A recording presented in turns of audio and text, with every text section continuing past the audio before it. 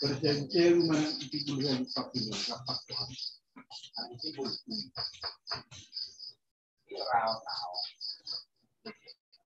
Nag-ibo-ibo na, nag-ibo-ibo. Pero, apa? Anong na, anong ko yung dito mag-ibo. Ano, siya baka makain. Pagkiro pa lang. Apa siap makan ini? Siap makan. Tang dia mana? Bubur-bubur. Anak dia jadi hurus yo ni lah. Bukan dia itu. Ini itu. Kalau bapakku do, bapakku ni. Ahir, ahir. Ah, kembali tahu lah. Kami kan dengar ke sekolah sekarang. Oh. Ano mo lang yung iba? Na. Ito mo to. Senseo mo man. wala na. Wala rin. Eh. Naluluto ko ng nandito pag magbigal. Ano po ko yung mana sumuni? Saan ko yung mana siya kapag sumuni?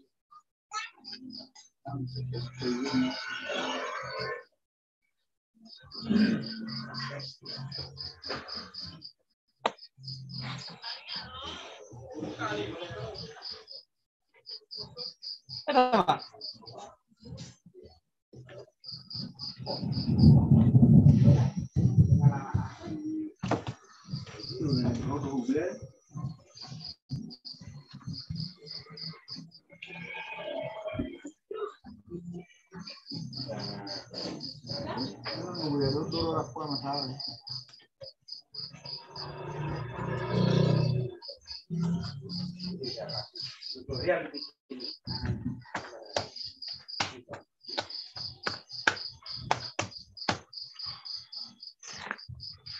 harga aja belum mulai kan biasa.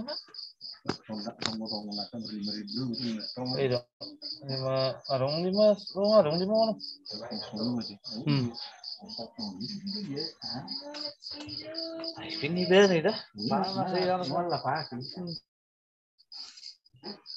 Tengah saya kan ya. Oh, dituru, bukan mau turun di mari.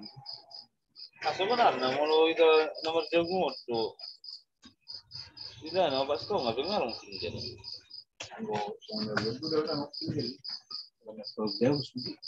Lain dan musuh lain pun buruk. Ternak selalu beri. Ah, betul lu. Perkara sulit sudah kamu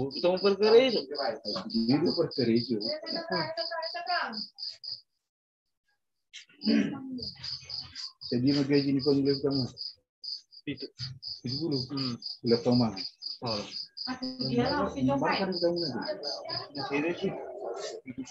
Tidak banget. Bangun buka dia sigaret nak. Dengar tuh. Oh, mau gimana? Tujuh hari. Tunggu hari. Kayak gitu, saya sekali sarapan. Oh dua hari juga. Baru jam-jam sepuluh an no. Sekarang. Teo, kalau Teo sampai betul mengopi. Lalu bisa. Kita dulu kok bisa dihitung. Lalu bisa ratus ribu nih dia. Kamu hitung hitung nggak lo? Dulu. Ini kan Itu marka di tamu nanti. Hani holan dua hari rumah ngau. Bijay mulu ah. Aku nak pola baik kopi teh. Manis na ulah hari siam nih ya. belum mak mak membuat gaji Ulu. Nak pola baik. Bahalan teh ulah teh manis sih main. Mulu mulu kami nak.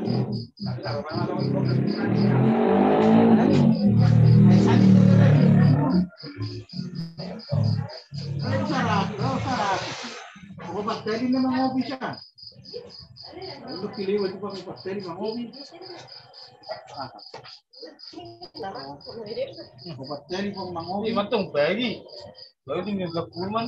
Baru habis banget siang. Baru sore mau, Pak. Weh,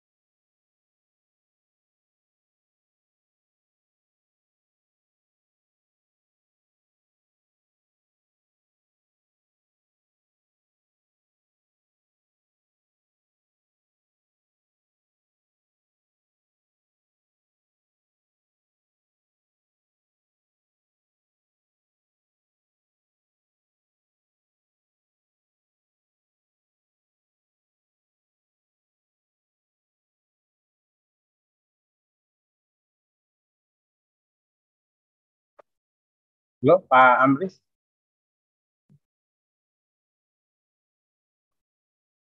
Pak Amri,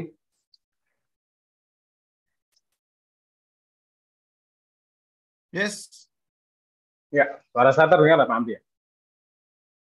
terdengar dengan jelas. Siap, berarti udah usah. Tinggal nunggu Pak Adrianus dan Pak Hendi untuk bergabung ya, Pak. Iya. Siap. Beliau sudah saya kasih linknya, jadi sebentar lagi masuk. Oke, siap. Terima kasih, Pak Amri. Mohon maaf nih, saya mute semua dulu, Pak Amri. Jadi biar nanti nanti baru saya allow untuk ini. Sementara nah, mungkin kalau pas penjelasan, izin teman-teman semuanya saya allow, apa saya mute dulu. Nanti sambil menunggu narasumber, nanti kalau sudah mungkin pas sesi tanya jawab dan eh, diberi kesempatan untuk bertanya langsung, baru mungkin ada yang saya buka. Siap, Mas. Sudah kurang 70 lagi. Nih, Limitnya di- dikurangi tuh. Biar kesempatan buat Pak Adrianus sama itu. Ya, nanti saya bikin eh, enable. Jadi kalau misalkan memang ini nanti udah lebih dari 450, saya bikin enable. Biar nanti ketika Pak Adrianus dan Pak Hendy masuk, saya coba ini cross-check di enable, biar biolo saya approve untuk masuk. Yes. Sudah 436. Ini biasanya kalau sudah mendekati penuh, makanya kenapa disediakan YouTube, biar sebagian nanti teman-teman bergabung di YouTube. Iya, siap.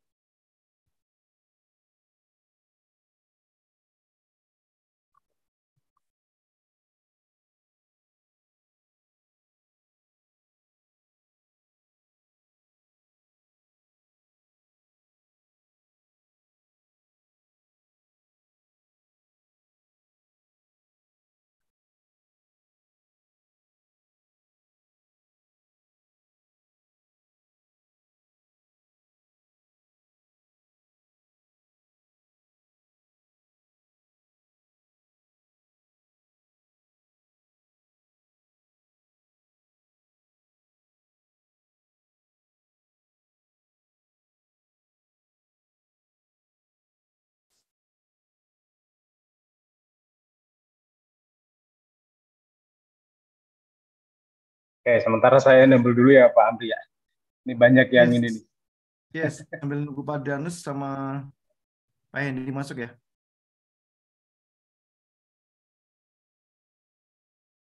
Ya, nanti saya kalau nanti kalau beliau masuk eh, apa di sounding aja Pak Amri nanti kalau dia masuk ternyata nggak bisa suruh sounding aja biar kita apa eh, admit Ya, ya, ya. Karena ini 4, sudah 485.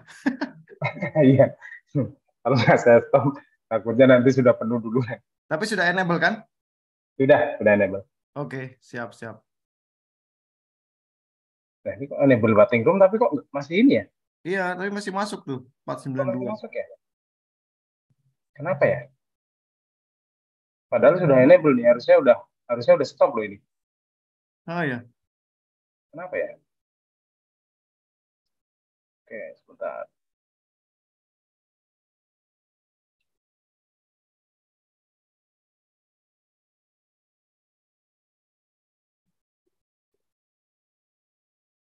Oh, udah Mungkin- 494. Ya udah nih, mentok kayaknya. Tadi sudah telat di enable, jadi banyak yang masuk duluan. Ini ini saya lock nih. Takutnya ini loh. Oke. Masih ada space.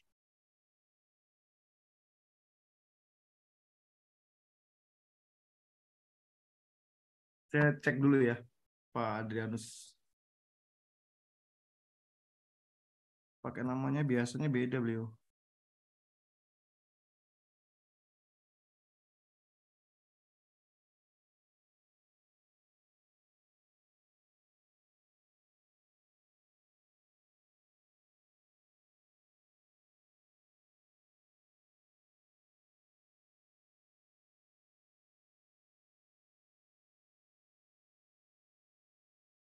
Masih jalan terus ya?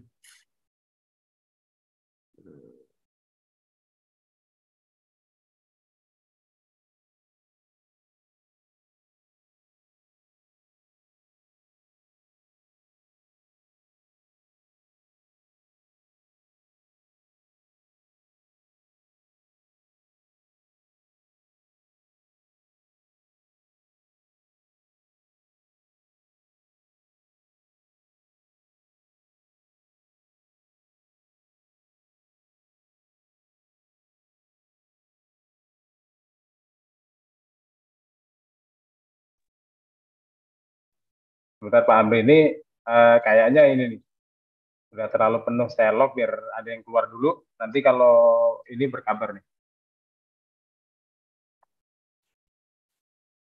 Kok enable enable-nya sepertinya terkendala nih Pak Amri.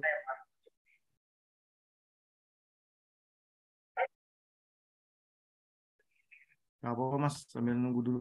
Karena Pak Adrianus juga belum masuk loh.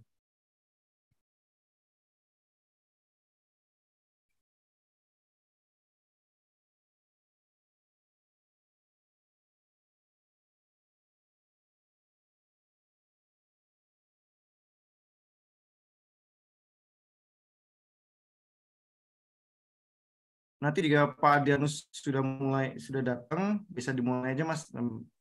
Ma- Pak Edi ini paling agak telat. Oke, siap Kak Bapak. Karena materinya Pak Adrianus sangat panjang, jadi takutnya kurang. Betul, betul. Hmm. Ini Pak Adrianusnya bisa bergabung belum? Sebentar, sebentar, saya cek dulu ya.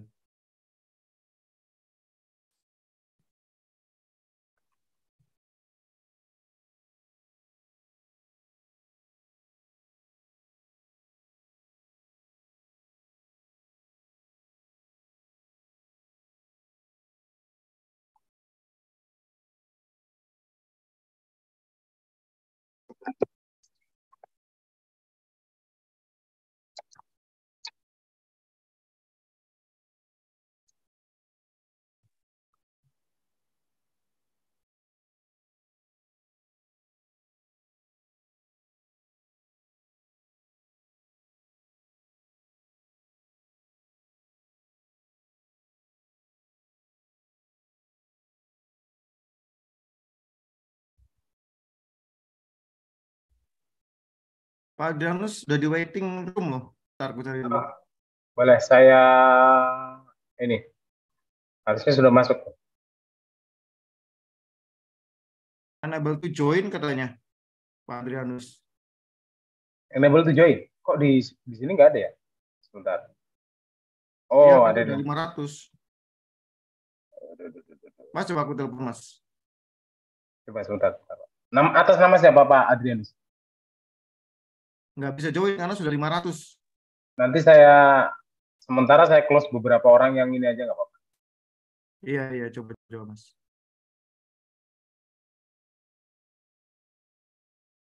Karena ini kita ternyata enable-nya terkendala nih.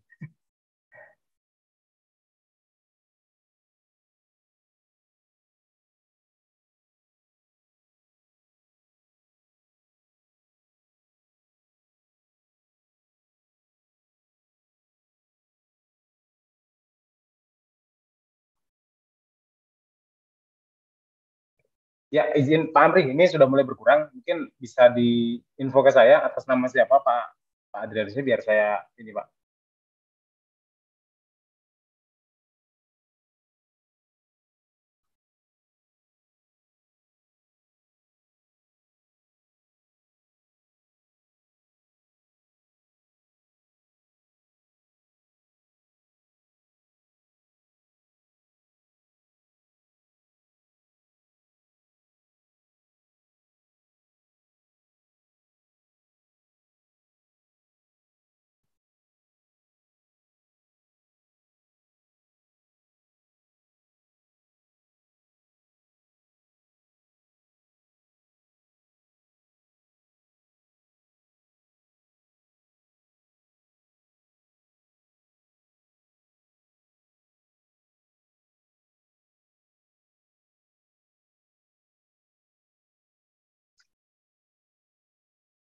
Halo Pak Amri, gimana Pak Amri?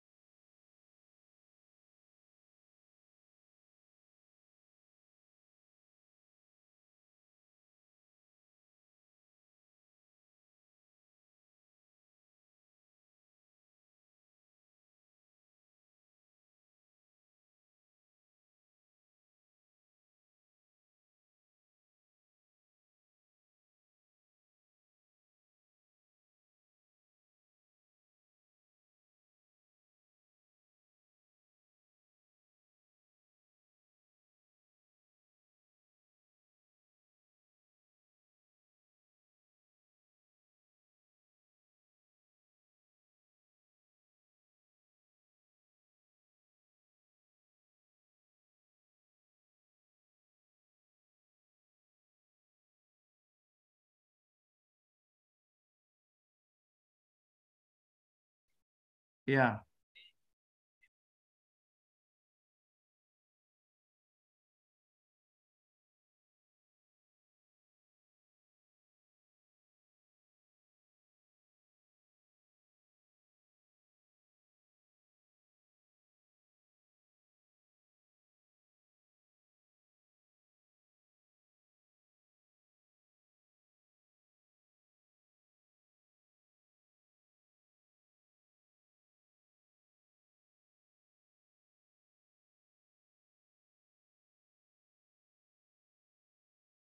Selamat malam Pak Adrianus.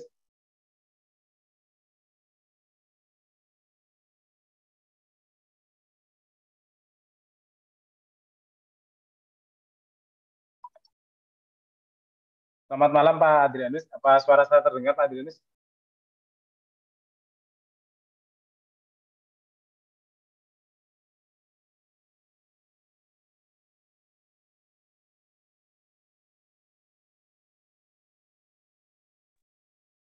Selamat malam, Pak. Malam, selamat malam. Ya, sehat Pak Adrianus. Alhamdulillah, alhamdulillah, alhamdulillah. Alhamdulillah.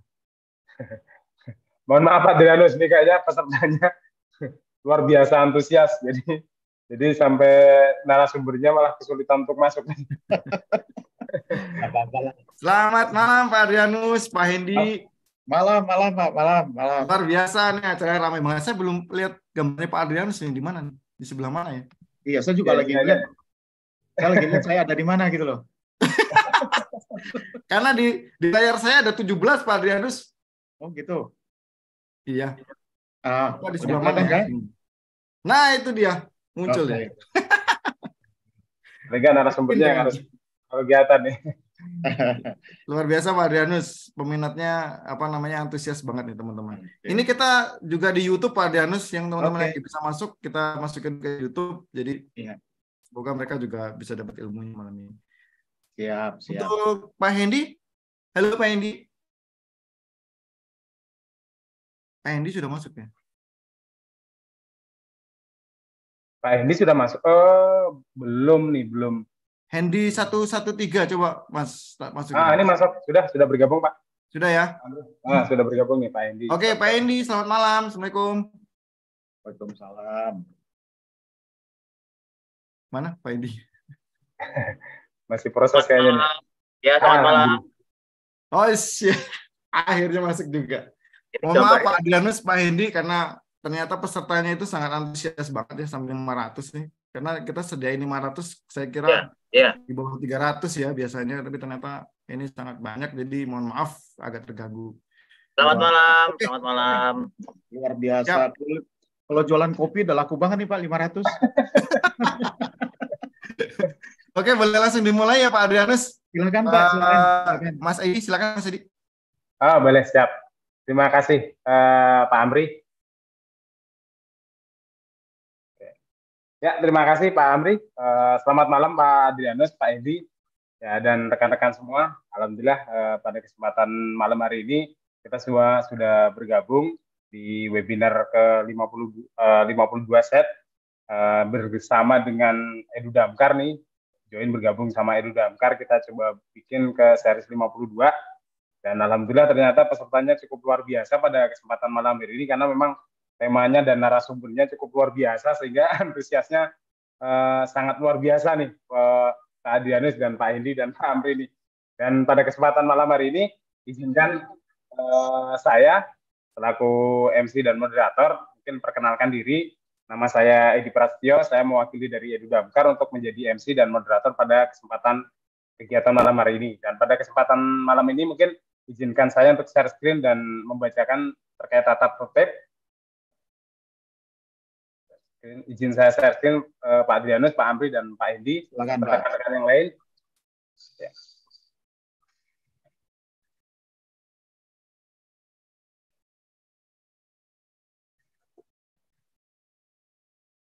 Ya, izin Pak. Eh, nah, sudah terlihat eh, untuk share screen saya. Izin mungkin boleh mengacungkan jempolnya yang kelihatan. Oke, siap. Terima kasih. Nah, pada kesempatan malam ini, eh, izin ada rundown acara terkait dengan webinar ke-52 Education ini yang pertama nanti pembukaan ya dan yang kedua ini berdoa menurut agama dan kepercayaan masing-masing. Ketiga adalah foto bersama. Yang keempat ini pembacaan CV untuk pembicara dan narasumber. Yang kelima ini nanti pembicara dari Bapak Adrianus untuk uh, materi pertama kurang lebih 40 menit dan nanti tanya jawab kurang lebih 20 menit. Uh, kemudian pembicara kedua mohon maaf uh, 30 Pak Hendi 30 menit, tadi Pak Adrianus 30 menit. Kemudian tanya jawab nanti 20 menit dan pemberian penghargaan kepada pembicara nanti oleh Pak Amri dan terakhir adalah penutup. Nah, untuk pembukaan mungkin eh, dari kita sama-sama baca Bismillahirrahmanirrahim. Kemudian yang kedua adalah berdoa. Dan kita di tempat masing-masing kita berdoa menurut agama dan kepercayaan masing-masing. Mudah-mudahan acara kita malam ini menjadi berkah bagi kita semua karena sharing berbagi malam ini cukup luar biasa dari narasumber dan materinya berdoa menurut agama dan kepercayaan masing-masing di tempat dipersilakan.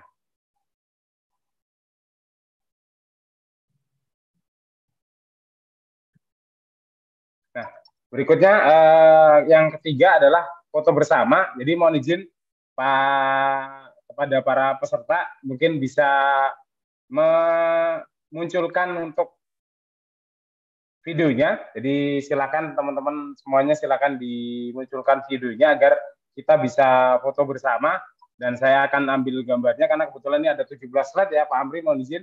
Jadi mungkin saya screenshot dulu 17 slide ini. Jadi mungkin agak sedikit menyita waktu nggak apa-apa. Sebentar yang slide pertama mohon izin. Ya, saya ambil gambar dulu ya. Satu, satu dua, tiga. Oke, ya. Kemudian slide kedua,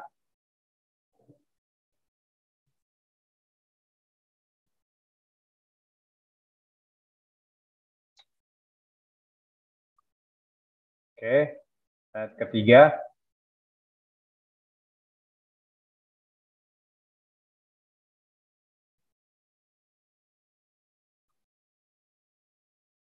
Oke, slide keempat.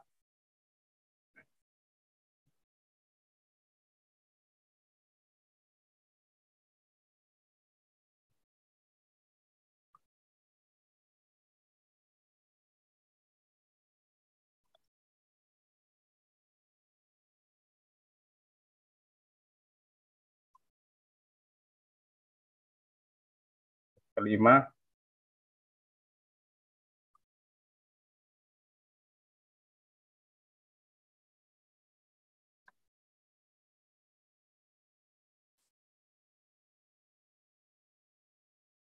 Dan slide ke-6 izin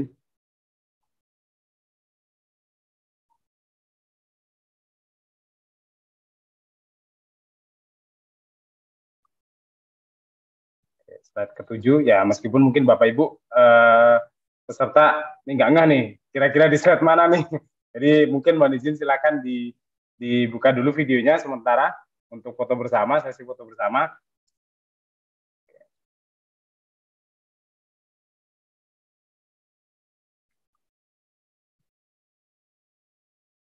Oke, slide ke-8.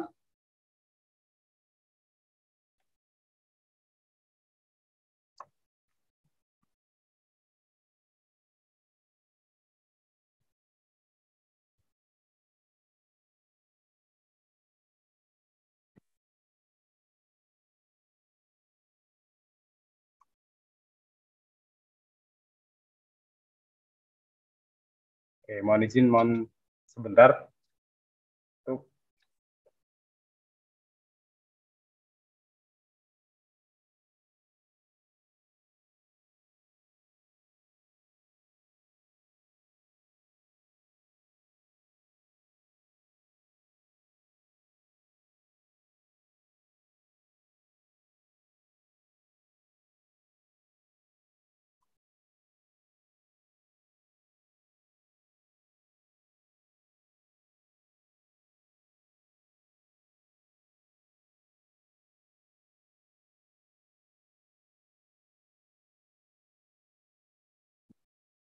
Oke, ya terima kasih banyak uh, sudah menunggu. Mohon maaf mungkin agak lama karena slide-nya ternyata cukup luar biasa banyak. Jadi saya lanjut lagi terkait dengan rangkaian acara pada kesempatan malam hari ini. Berikutnya adalah eh, CV dan terkait dengan tata tertib mungkin sebelum saya bacakan terkait dengan CV saya akan bacakan dulu berkaitan dengan tata tertib serta safety induction untuk kegiatan pada malam hari ini. Ya, pertama mungkin berkaitan dengan safety induction ya sama-sama kita akan menyaksikan webinar education ke-52 dari SID malam hari ini. Yang pertama berkaitan safety induction. Yang pertama tentunya kita adalah berdoa bersama-sama tadi sudah kita laksanakan karena Mudah-mudahan agar diberikan kelancaran pada kegiatan malam hari ini. Berikutnya yang kedua pastikan colokan listrik nih eh, rekan-rekan semua di rumah pastikan agar colokan listriknya aman dan jangan lupa pastikan memang handphonenya atau laptopnya juga dalam kondisi penuh. Jangan jauh-jauh dari colokan karena ini nanti sampai malam akan luar biasa materinya jadi jangan sampai ketinggalan dan mohon untuk tidak mencoret-coret ya mohon maaf di apa di layar Kemudian jaringan internet pastikan jaringan internetnya penuh juga agar nanti tidak terkendala ketika menerima materi yang diberikan oleh narasumber. Berikutnya adalah audio dan video.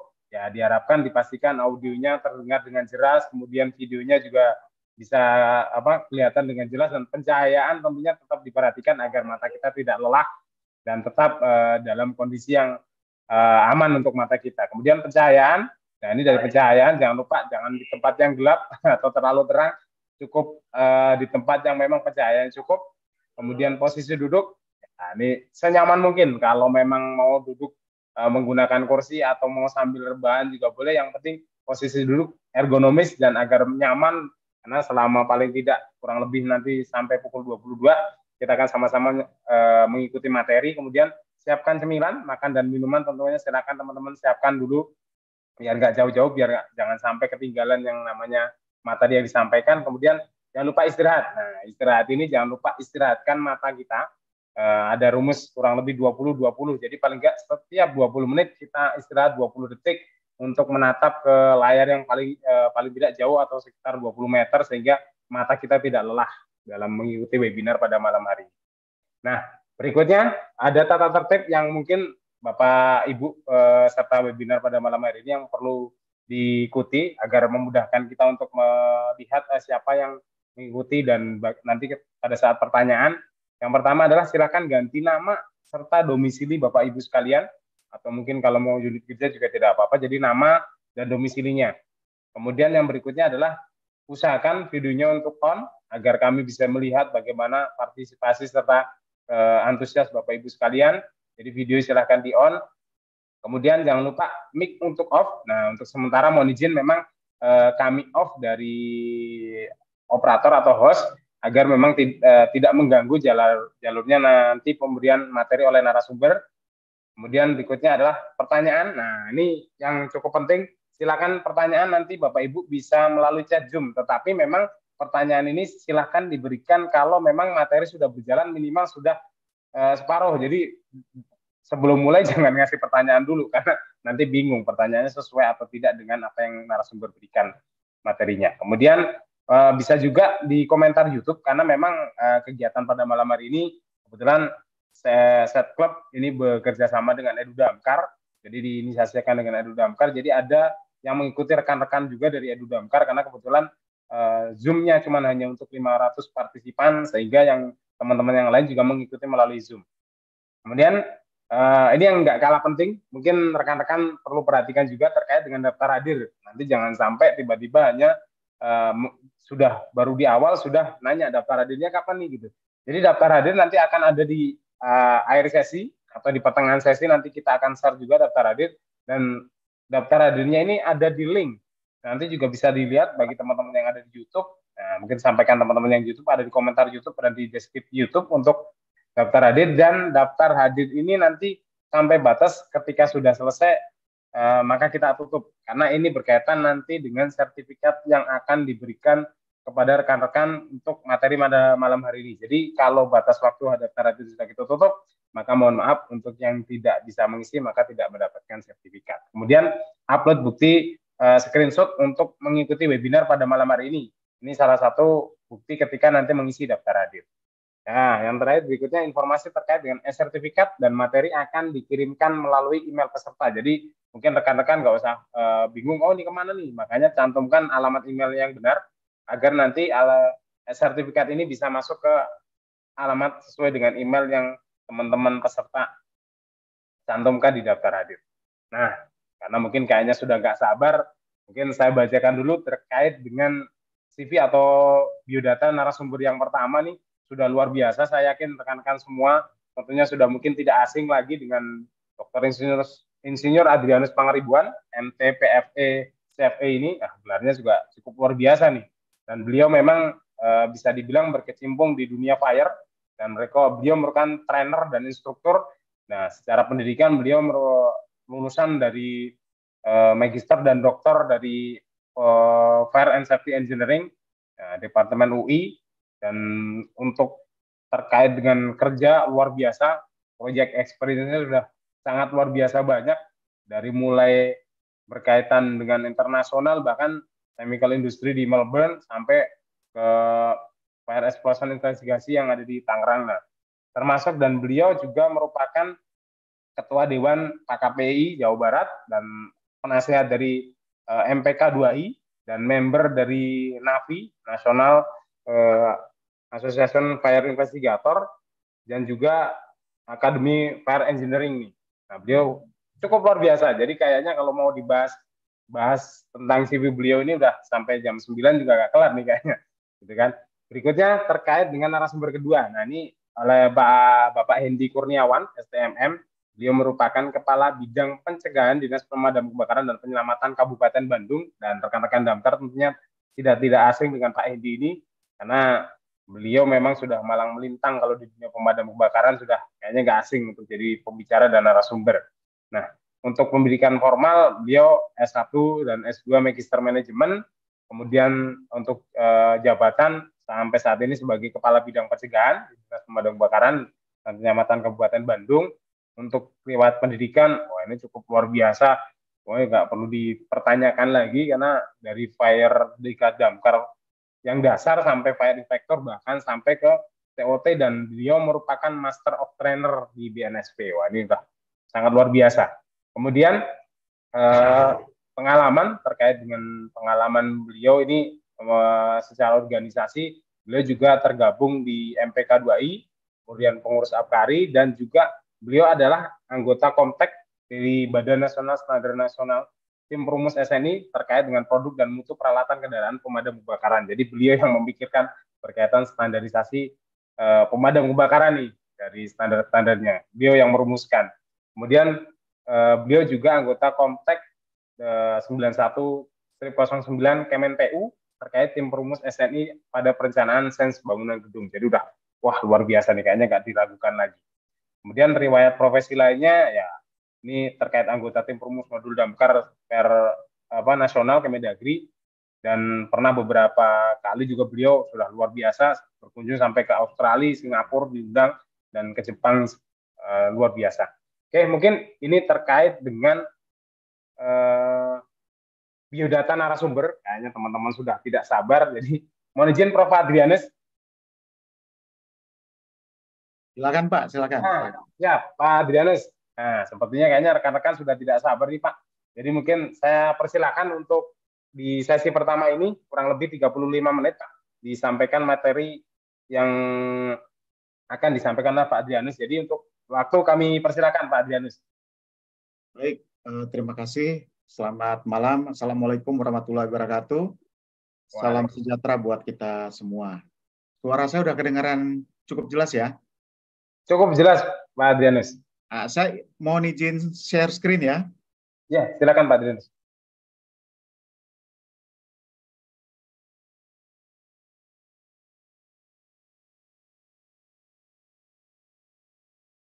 Apakah sudah terlihat?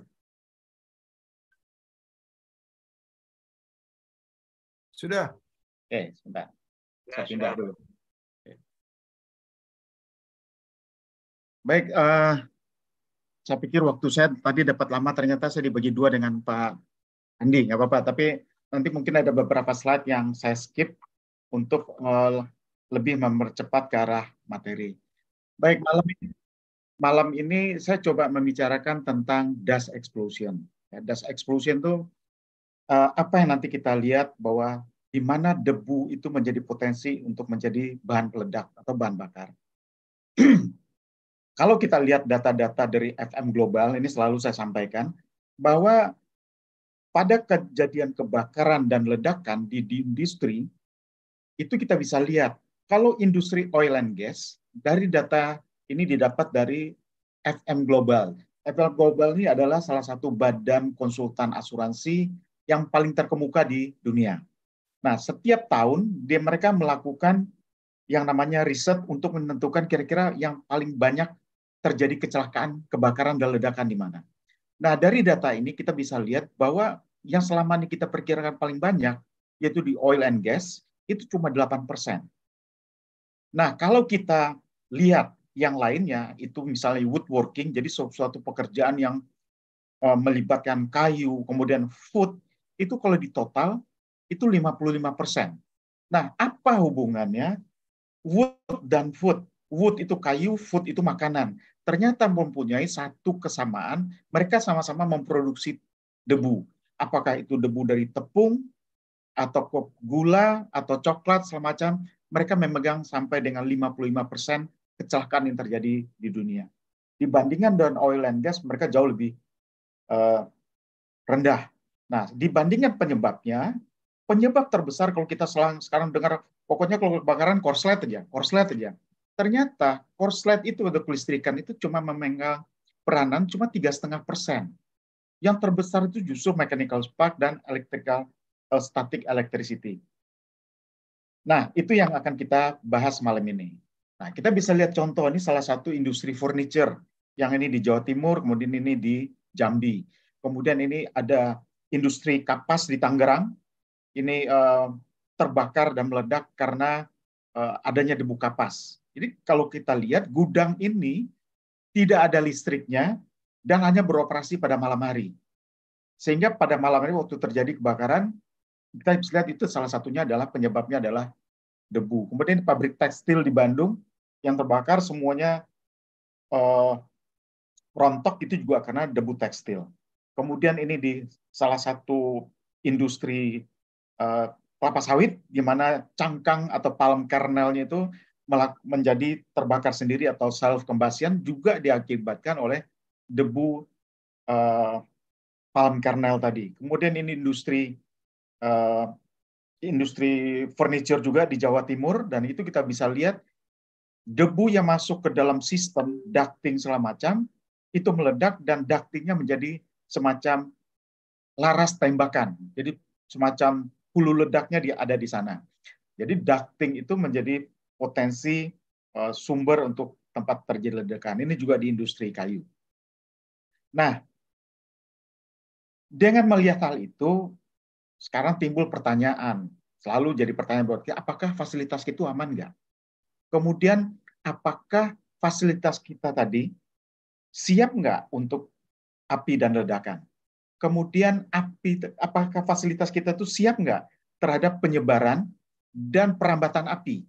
Ya jadi selain apinya tumbuh siap nggak terhadap penyebaran dan uh, perambatan? Kemudian bagaimana kita memastikan atau kita mengukur bahwa tempat kita itu udah aman? Nah untuk itu perlu dilakukan risk assessment ya Aris semua teman-teman udah pada tahu lah nah tidak ada satu standar pun yang bisa berdiri sendiri. Semuanya interkorelasi dan interkoneksi. Ya. Nah, demikian juga dengan debu. Debu itu dasarnya adalah di NFP 652. Ya, kemudian kalau untuk debu industri pertanian dan segala macam, kita mengacunya ke 61. Kalau sulfur di 655. Kemudian untuk pemicunya itu di listrik 70. Kemudian elektrostatis dan semacamnya.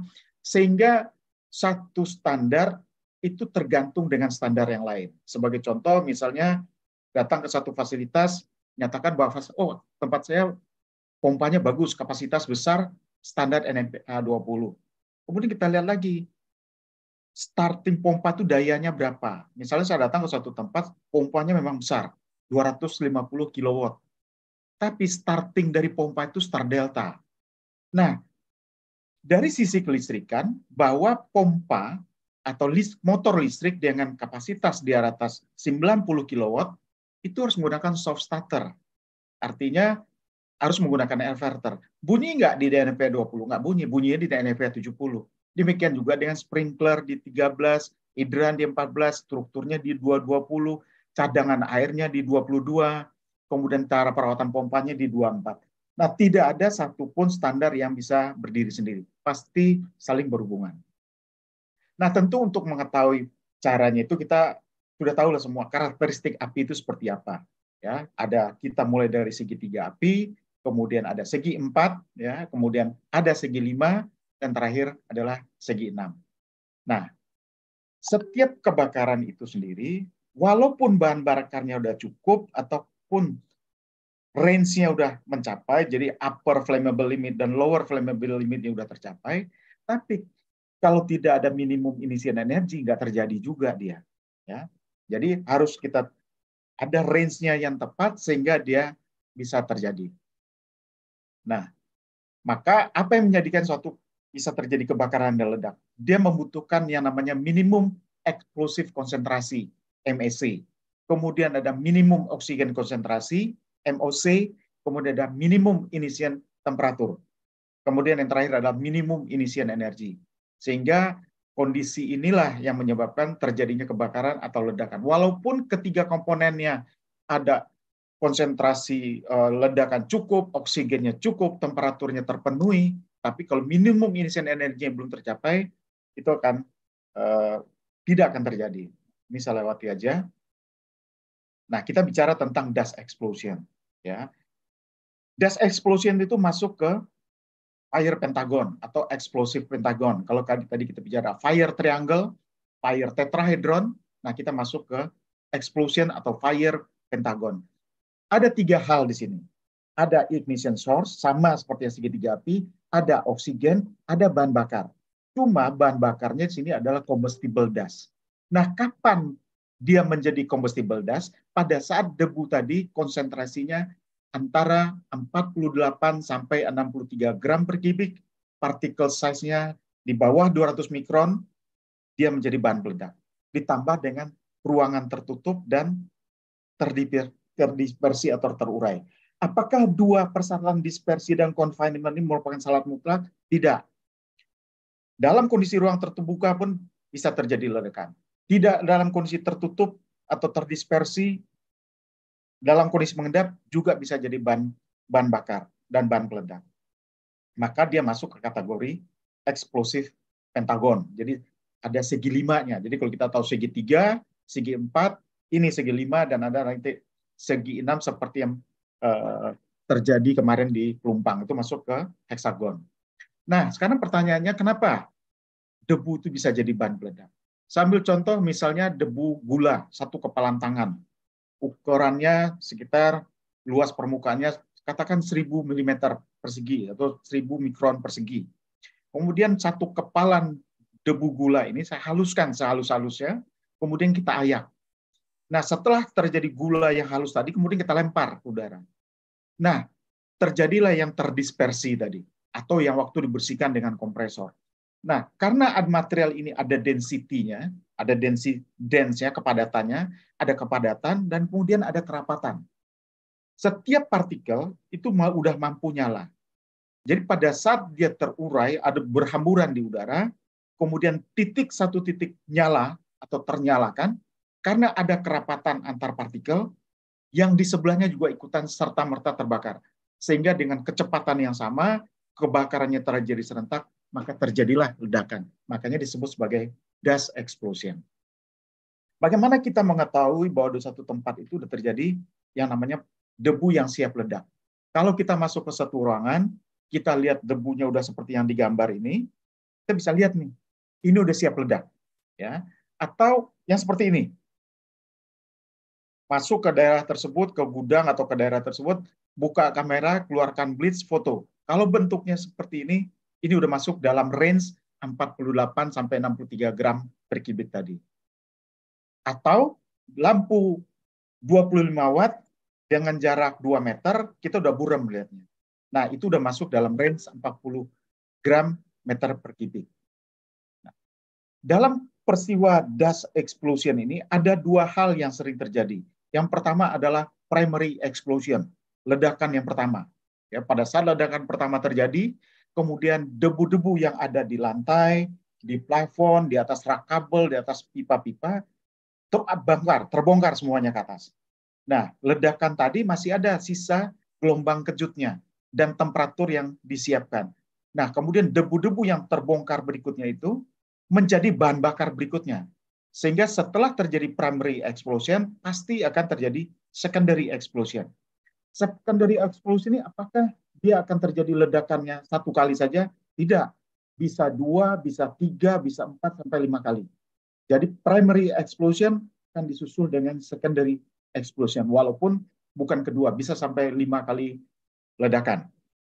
Nah, yang bahaya yang mana? Yang secondary explosion. Karena primary explosion kita, kita bisa tahu kira-kira dia akan muncul di mana. Tapi kalau secondary explosion, kita nggak pernah tahu dia akan muncul di mana. Nah, peristiwa prosesnya seperti apa kira-kira? Katakan adalah suatu ruangan yang sudah penuh dengan debu, di sini ada dust collector. Terjadi deflagrasi atau pemicu. Kemudian terjadi gelombang kejut, gelombang kejut itu akan keluar dari ruangan dust collector tadi, kemudian dia akan mengangkat debu-debu yang ada di bawah dan di atas, kemudian membentuk awan baru dari dari hasil ledakan pertama, kemudian masih ada sisa dari ledakan yang pertama tadi akan membentuk yang namanya secondary explosion tadi. Kemudian ledakannya berlanjut dengan ledakan-ledakan berikutnya sehingga pada saat suatu saat ruangan atau gedungnya rontok. Nah, waktu yang dibutuhkan untuk membuat suatu ledakan sampai menghancurkan suatu ruangan, waktunya sekitar 325 milisekund atau sekitar 5 detik. Nah, pada saat terjadi ledakan pertama, dum, dum, dum, dum. Nah, itu waktu yang dibutuhkan untuk menghancurkan satu bangunan itu 325 detik milisekund, milidetik atau sekitar 5 detik. Nah, kekuatan ledakannya itu diukur dengan yang namanya staub ya dari bahasa Jerman ST ST0 1 2 3 ST0 atau SAUP 0 itu nggak bakal terjadi ledakan ya contohnya apa? Silika. Kalau debunya debu silika. Ini textbooknya menyatakan itu. Tapi yang terjadi yang pernah saya alami itu di pabrik semen salah satu pabrik semen terkenal di Palimanan Cirebon itu terjadi ledakan pada debu semen. Sehingga lima line yang di bawah tanah kemudian lima line yang di atasnya itu terjadi ledakan besar sehingga kerugiannya bisa mencapai waktu itu 630 juta euro, jadi hampir 10 triliun. Kita bisa bayangkan berapa hebat ledakannya. Kemudian ada stop satu, ledakannya itu antara 0 sampai 200 bar meter per detik. Disebut sebagai ledakan lemah atau contohnya debu susu, debu batu bara, sulfur, gula, dan zinc. Kemudian stop 2 antara 200 sampai 300 disebut sebagai strong explosion, ledakan kuat. Materialnya selulose, debu kayu, polimetil, dan semacam. Dan yang terakhir adalah stop 3 di atas 300 bar meter per detik. Very strong explosion, biasanya di metal dan segala macam. Nah, kita bisa bayangkan kalau sampai dengan 300 bar. Ban mobil saja paling besar 3,2 bar. Jadi kita bisa lihat berapa hebatnya ledakan yang diakibatkan oleh debu debu ini sehingga menyebabkan kerusakan yang masif. Nah, ini salah satu contoh. Ini adalah mesin FBD di salah satu pabrik susu. Pada saat ini sedang dilakukan maintenance. Pada saat maintenance itu semua listrik dimatikan. Jadi artinya kita nggak bisa nuduh bahwa ada listrik di sana. Nah, apa yang terjadi pada saat orang ini membersihkan? Kita lihat. Ini memang tidak ada suara karena memang dari dari dari CCTV. Nah, kita lihat. Kemudian tiba-tiba timbul ada percikan di sini. Pada yang bersamaan terjadi ledakan di FPD-nya. Fluid bed dryer, jadi mesin pengering. Nah, ini kalau nggak ada angkurnya terbang nih mesinnya. Sampai dengan nanti bahan bakar yang di dalam sini habis, dapat bantuan bahan bakar baru dari atas. Dan ini hanyalah debu susu jadi kalau kita lihat dampaknya akan kelihatan sekali. Jadi apa pun jenis debunya, nah ini kelihatan dari sini. Apa pun jenis debunya, Kalau dia pada konsentrasi 48 sampai 63 gram per kubik, partikelnya besarnya di bawah 200 mikron, hati-hati. Dia berubah fungsi atau sebagai berubah uh, wujud bisa menjadi sebagai bahan peledak. Kemudian juga di pakan ternak, kalau kita lihat ke jalan-jalan ke daerah Jawa Tengah, ke arah Banten, Cilegon, segala macam, atau di beberapa daerah, banyak pakan ternak.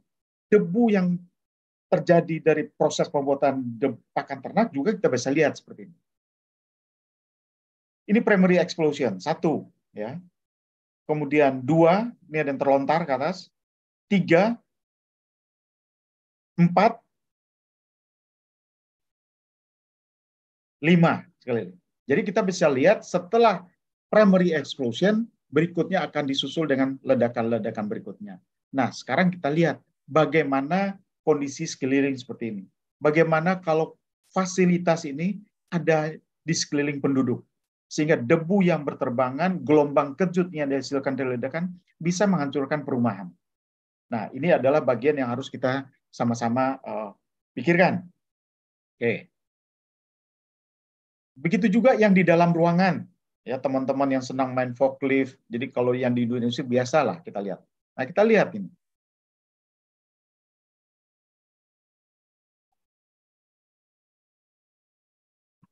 Nah, dari debu yang diangkut tadi masuk ke dalam sistem engine-nya, terjadi kebakaran. Masalahnya sekarang, apakah kita siap atau tahu secara persis sifat dari debu ini sehingga kita bisa kendalikan? Nah, kita bisa lihat di pada saat terbakar, berapa lama aparnya baru muncul. Kemudian apakah apar yang kita bawa tadi memenuhi persyaratan nggak untuk memadamkan api?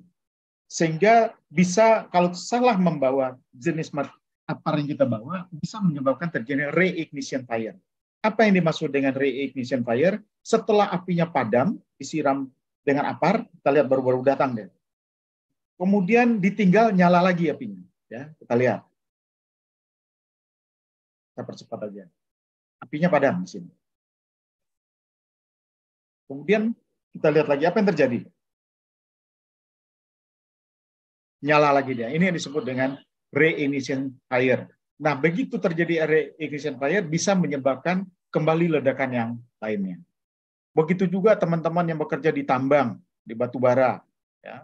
Ini batu baranya diangkut, kemudian dituang, kemudian dibawa ada yang siap mobilnya buat ngangkut dalam kondisi nyala.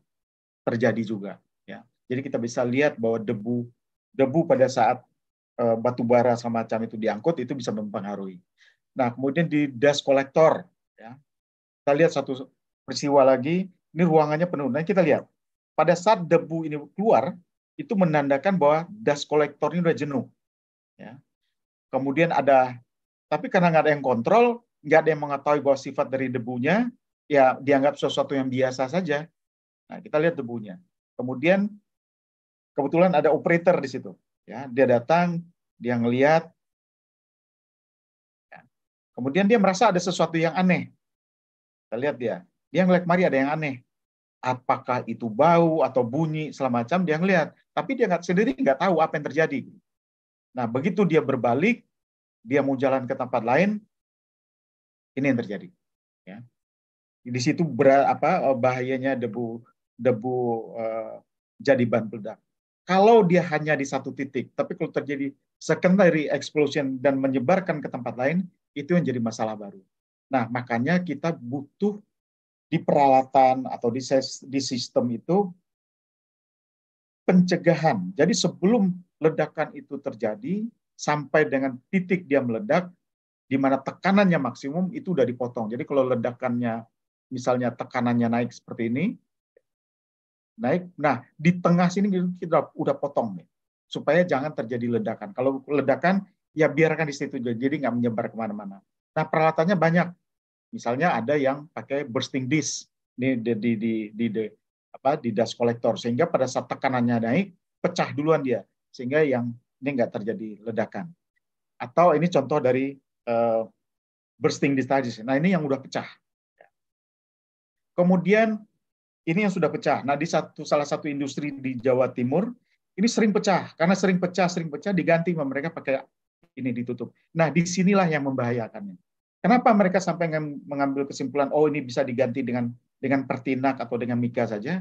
Karena nggak, mereka nggak tahu bahwa kondisi ledakan itu bisa sedemikian hebatnya. Dengan adanya bursting di, tadi di sini, itu akan membantu tekanan di dalam dan tekanan di luar itu akan sama. Sehingga ledakannya tidak hebat. Tapi begitu diganti dengan yang ini, yang tidak bisa terkontrol, akhirnya bisa terjadi ledakan yang luar biasa. Nah, ada juga di ductingnya yang menggunakan namanya spark detector. Dipasang detektor, jadi kalau ada percikan di dalam ducting, kemudian ada sensornya, sensornya masih perintah ke alarm, di depannya keluar water mist. Kemudian api ini akan dipadamkan di sini, kalau masih berlanjut akan dibuang yang namanya dengan abort gate. Jadi ini ini nutup, kemudian sisa-sisa api akan dibuang keluar. Nah, kira-kira kerjanya seperti ini.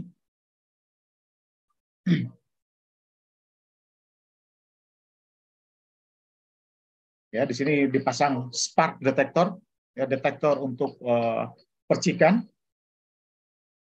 Kemudian kita lihat ada percikan lewat. Ini di sensor dia langsung di sini. Ada sensor di sini. Di sini kita siapkan water mist. Nah, sensornya selalu bekerja. Katakan ada nanti percikan yang lewat di sini. Percikan lewat, sensornya bekerja, Kemudian ngasih perintah water mist untuk menyembur. Nah, di sini dipadamkan nanti. Ya, ada water mistnya di sini.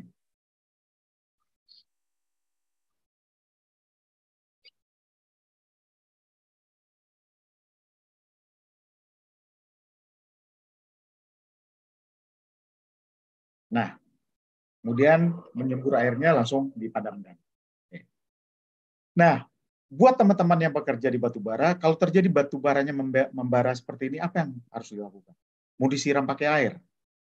Temperatur pada batu bara yang sudah membara ini sekitar 800 sampai 1100 derajat Celcius. Nah, kalau kita siram dengan air yang temperaturnya 25 sampai 28 derajat Celcius, delta T-nya udah tinggi sekali. Yang disemprot 1100, yang nyemprotnya cuma maksimum 28 derajat Celcius. Delta T-nya atau delta temperaturnya sangat tinggi. Akibatnya apa? Terjadi steam explosion. Nah, begitu juga dengan batu bara yang udah tertumpuk. Ya. Batu bara yang nilai kalorinya low range, jadi kalori di bawah 4000 4000 uh, kalori itu setelah dia ditumpuk lebih dari 72 jam, maka temperatur di dalam tumpukan tadi akan naik satu derajat Celcius per jam. Nah, kalau ini tidak dikontrol, temperaturnya terus naik, akibat nyala dia. Jadi bukan nyala langsung nyala karena karena ada di dalam batu bara, dia akan membara dulu dia. Membara naik ke atas, kemudian baru menjadi api setelah ketemu oksigen. Nah, hal ini yang perlu dilakukan. Nah, kalau begitu apa yang harus dilakukan dengan batu bara yang low range tadi? Ya, pasti ada treatment yang harus dilakukan. Salah satunya adalah di trimming. Jadi buat teman-teman yang di batu bara, di pembangkit uh, yang menggunakan batu bara itu dengan menggunakan kalori yang batu bara yang low range itu harus di trimming, dibolak-balik dia sehingga tidak terjadi konsentrasi metan gas metan di dalam tumpukannya.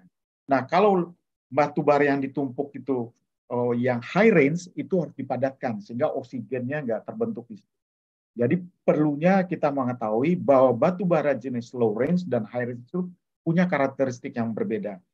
Kategori uh, batu bara yang dengan kondisi low range itu setelah ditumpuk eh, sekitar 3 kali 24 jam atau 72 jam, nah kemudian itu akan naik temperaturnya dengan sendiri satu derajat Celcius per jam. Nah, itu yang perlu kita perhatikan. Jadi harus dilakukan trimming atau melakukan pembasahan. Nah, ini salah satu eh, contoh terjadinya ledakan lagi. Ini satu percobaan. Ya. Ini kita lihat batu bara itu seperti apa ledakannya. Jadi kita haluskan batu bara, kemudian ditaruh di rel, kemudian nanti pemicunya adalah roll, lori. Lori jadi semacam kereta pembawa batu bara. Nah, kita lihat sekarang banyak di pembangkit-pembangkit yang memakai tempat penyampungan batu bara itu seperti dom. Jadi kayak kubah. Kita lihat kubahnya nanti. Kemudian lori ini kita tarik ke atas bukit, kemudian diluncurkan. Nah, gesekan yang terjadi antara lori dengan rel di mana ada batu bara, nanti kita lihat apa yang terjadi.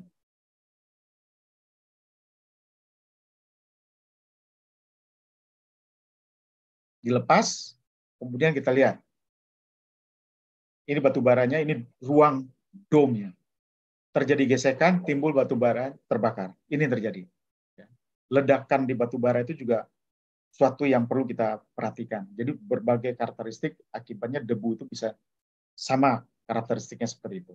Nah, kalau dia batu baranya di conveyor belt, ya, terjadi percikan atau terjadi elektrostatis, masuk ke gudang, gudang yang disikat sama dia. Ya, masuk bangunan, beltnya yang dibakar sama dia. Contohnya kira-kira seperti ini. Nah, kalau seperti ini, apa dulu yang mau dipadamkan? Mana dulu yang mau disiram?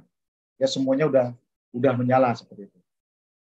Nah, begitu juga kalau dia kalau dia sempat roboh, nah robohannya itu yang membawa percikan-percikan atau disebut dengan embering yang bisa menyebarkan api ke tempat lain. Begitu juga di pelabuhan. Segala macam debu yang ada di pelabuhan, bawa ini, bawa batu bara, kacang kacang hijau, tan, kacang tanah, apa debu tepung terigu, itu bisa menyebabkan semuanya. Nah, berapa kecepatannya kalau seandainya debunya itu tidak berterbangan tapi menumpuk. Ya, kita bisa lihat nih, ini salah satu kejadian. Ini uh, semacam uh, apa ya silo, kemudian ini udah penuh dengan batu bara. Kemudian batu baranya itu sendiri udah mulai menyala karena batu baranya ada di luar, kemudian terkena radiasi matahari. Ya, dengan kondisi tersebut apa yang terjadi? Ini mulai ada alarm,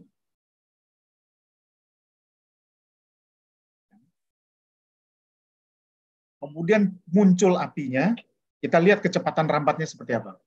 Langsung dia merambat. Langsung semuanya jadi bahan bakar. Nah, di sini kita bisa lihat bahwa kecepatannya itu luar biasa. Nah, kita kembalikan ke teman-teman di damkar. Bagaimana SOP kalau kita mendapat laporan, berapa lama harus ada di lokasi? Nah, dengan kondisi seperti ini, teman-teman daerah berdebu segala macam, apakah SOP tadi bisa terpenuhi nggak? Bahwa 15 menit kita udah harus ada di tempat. Kalau melihat kecepatan api seperti itu. Begitu juga di tongkang. Ya. Di tongkang juga bisa terjadi nyala batu bara. Kita bisa lihat, ya dia tertumpuk lebih dari 3 kali 24 jam, kemudian tongkangnya kandas, atau semacam anginnya kencang di pinggir pantai, akhirnya nyala. Dan bukan hanya batu bara yang seperti ini. Semua debu yang konsentrasinya hampir sama itu bisa menyebabkan hal seperti ini. Begitu juga di kendaraan berat, di tambang-tambang. Ya. Ini kita lihat orangnya pengen start mobil, kemudian begitu di engine-nya di start, kita bisa lihat apa yang terjadi di sini. Debu ini masuk ke kabin engine, konsentrasinya cukup, nyala. Jadi kita bisa lihat kondisi mobil dalam kondisi itu pun bisa terjadi. Nah, kita lihat tuh di daerah-daerah misalnya dari teman-teman damkar melakukan asesmen. Jadi kita lihat juga di tempat mereka ada nggak debu yang seperti ini. Ya, kita bisa lihat nih. Ada panel, buka panelnya, lihat, ini ada debu seperti ini. Nah, kita tahu kontaktor ini bekerjanya berdasar cetak, cetok, cetak, cetok. Kalau setiap ada cetak, cetok, cetak, cetok itu, pasti ada percikan. Kalau di sini udah penuh dengan debu, tinggal nyala aja dia, ya. Nah, itu potensi. Kemudian debu yang ada di atas kabel-kabel, ini siap untuk nyala. Semua di atas rak segala macam. Kemudian juga yang ada di dalam panel yang ada inverternya. Biasanya inverter ini ada blower. Nah, pada saat ada blower, ada debu yang masuk ke dalam. Nah, semua peralatan inverter pada suatu saat akan mengalami suatu saat mengalami kegagalan oh dia panas, ini bisa menyebabkan suatu sumber dari ledakan. Nah, di ada yang nyatakan, Pak, di tempat saya nggak ada debu, nggak ada debu yang berterbangan. Adanya debu-debu yang numpuk. Hati-hati juga dengan debu yang menumpuk. Debu dengan tumpukan maksimal yang diizinkan itu tidak boleh lebih dari 5 mili. Kita bisa lihat. Karena pada saat 5 mili, tergantung dari jenis materialnya apa. Ada yang titik nyalanya 250 derajat, ada yang 320 derajat sampai 400 derajat. Sehingga dengan otomatis nanti temperatur nyalanya tercapai, dia akan nyala. Nah, kita lihat contoh. Salah satu contohnya adalah misalkan debu tembakau. Walaupun segala macam banyak ya. Debu tembakau ini, kalau dia menumpuk 5 mili, akan nyala pada temperatur 300 derajat Celcius.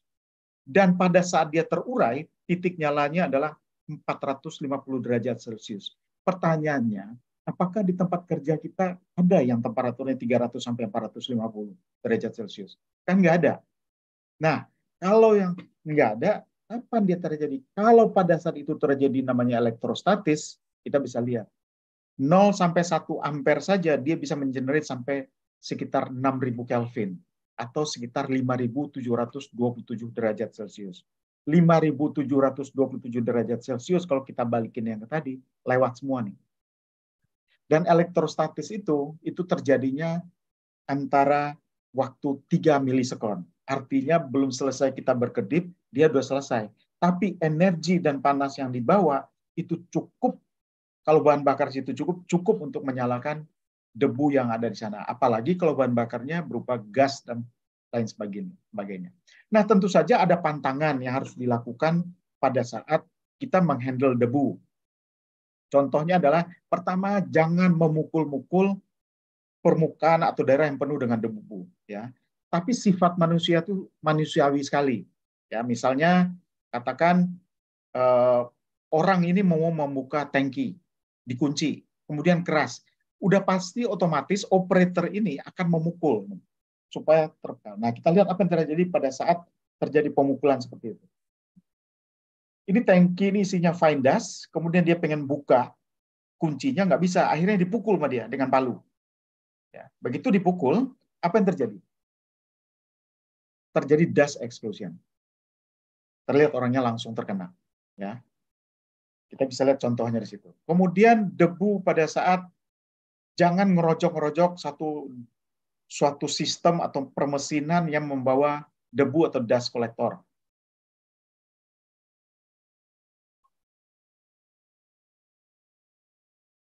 Kita lihat ini. Apa yang dilakukan dua orang ini?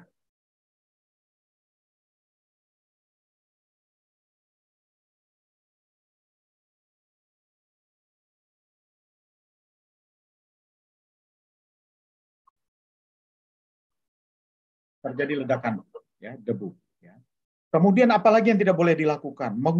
membersihkan suatu ruang tertutup atau reaktor atau tangki dengan menggunakan kompresor udara. Nah, apa yang terjadi kita bisa lihat di sini.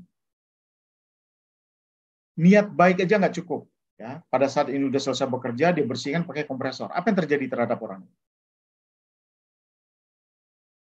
Dia ada langsung di depan ruang tembak. Kita bisa lihat di sini. Bajunya turun, helmnya turun tadi, tapi orangnya akan pernah turun. Kenapa? Karena dia dia ada di ruang tembak dan tekanannya tinggi sekali sehingga orangnya jadi serpihan. Ya, kita lihat sekali lagi. Jadi artinya niat baik aja bekerja nggak cukup. Orang-orang yang bekerja langsung yang seperti ini kita harus berikan pembekalan pengetahuan sehingga mereka juga tahu resikonya apa di sana. Itu terjadi ledakan di sana. Nah, kita bisa lihat hebatnya seperti apa. Dan jangan juga ada yang iseng seperti ini ya ada debunya ini ada satu pemicu saja ini bisa langsung jadi masalah gitu. Nah, seperti ini. Nah, kalau timbul pertanyaan, kalau gitu saya harus bersihnya seperti apa? Orgunala vacuum cleaner yang berstandar ATEX. Jadi jangan sampai kita pakai vacuum cleaner, kita memindahkan ledakan debu tadi dari luar ke vacuum cleanernya. Jadi seperti ini kerjanya. Atau kalau memang manual, lakukan yang manual pakai pakai pakai kuas atau apa semua. Tapi jangan sampai menciptakan adanya debu baru. Nah, saya akan mengenalkan sedikit bagaimana kalau debu sudah siap, adanya elektrostatis. Uh, moderator, saya punya waktu.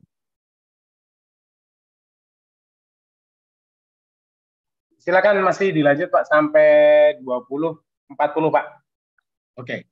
Nah, salah satu pemicunya yang selalu kita selalu tahu adalah elektrostatis. Jadi musuhnya di sana. Jadi bukan hanya listrik tapi elektrostatis. Elektrostatis itu kita tahu listrik kita tuh ada DC, ada AC. AC itu ada yang satu fas, ada yang tiga fas. Apa pun itu satu fas atau tiga fas, listrik itu punya yang AC itu punya kesamaan. Ada pembangkit, ya sumbernya pembangkitnya, ada penghantar kabel, kemudian ada bebannya. Beban itu yang yang kita pakai. Selalu ada. Bedanya dengan DC, mau AC DC sama. Cuma DC nggak punya yang tiga fase, dia pasti satu fase.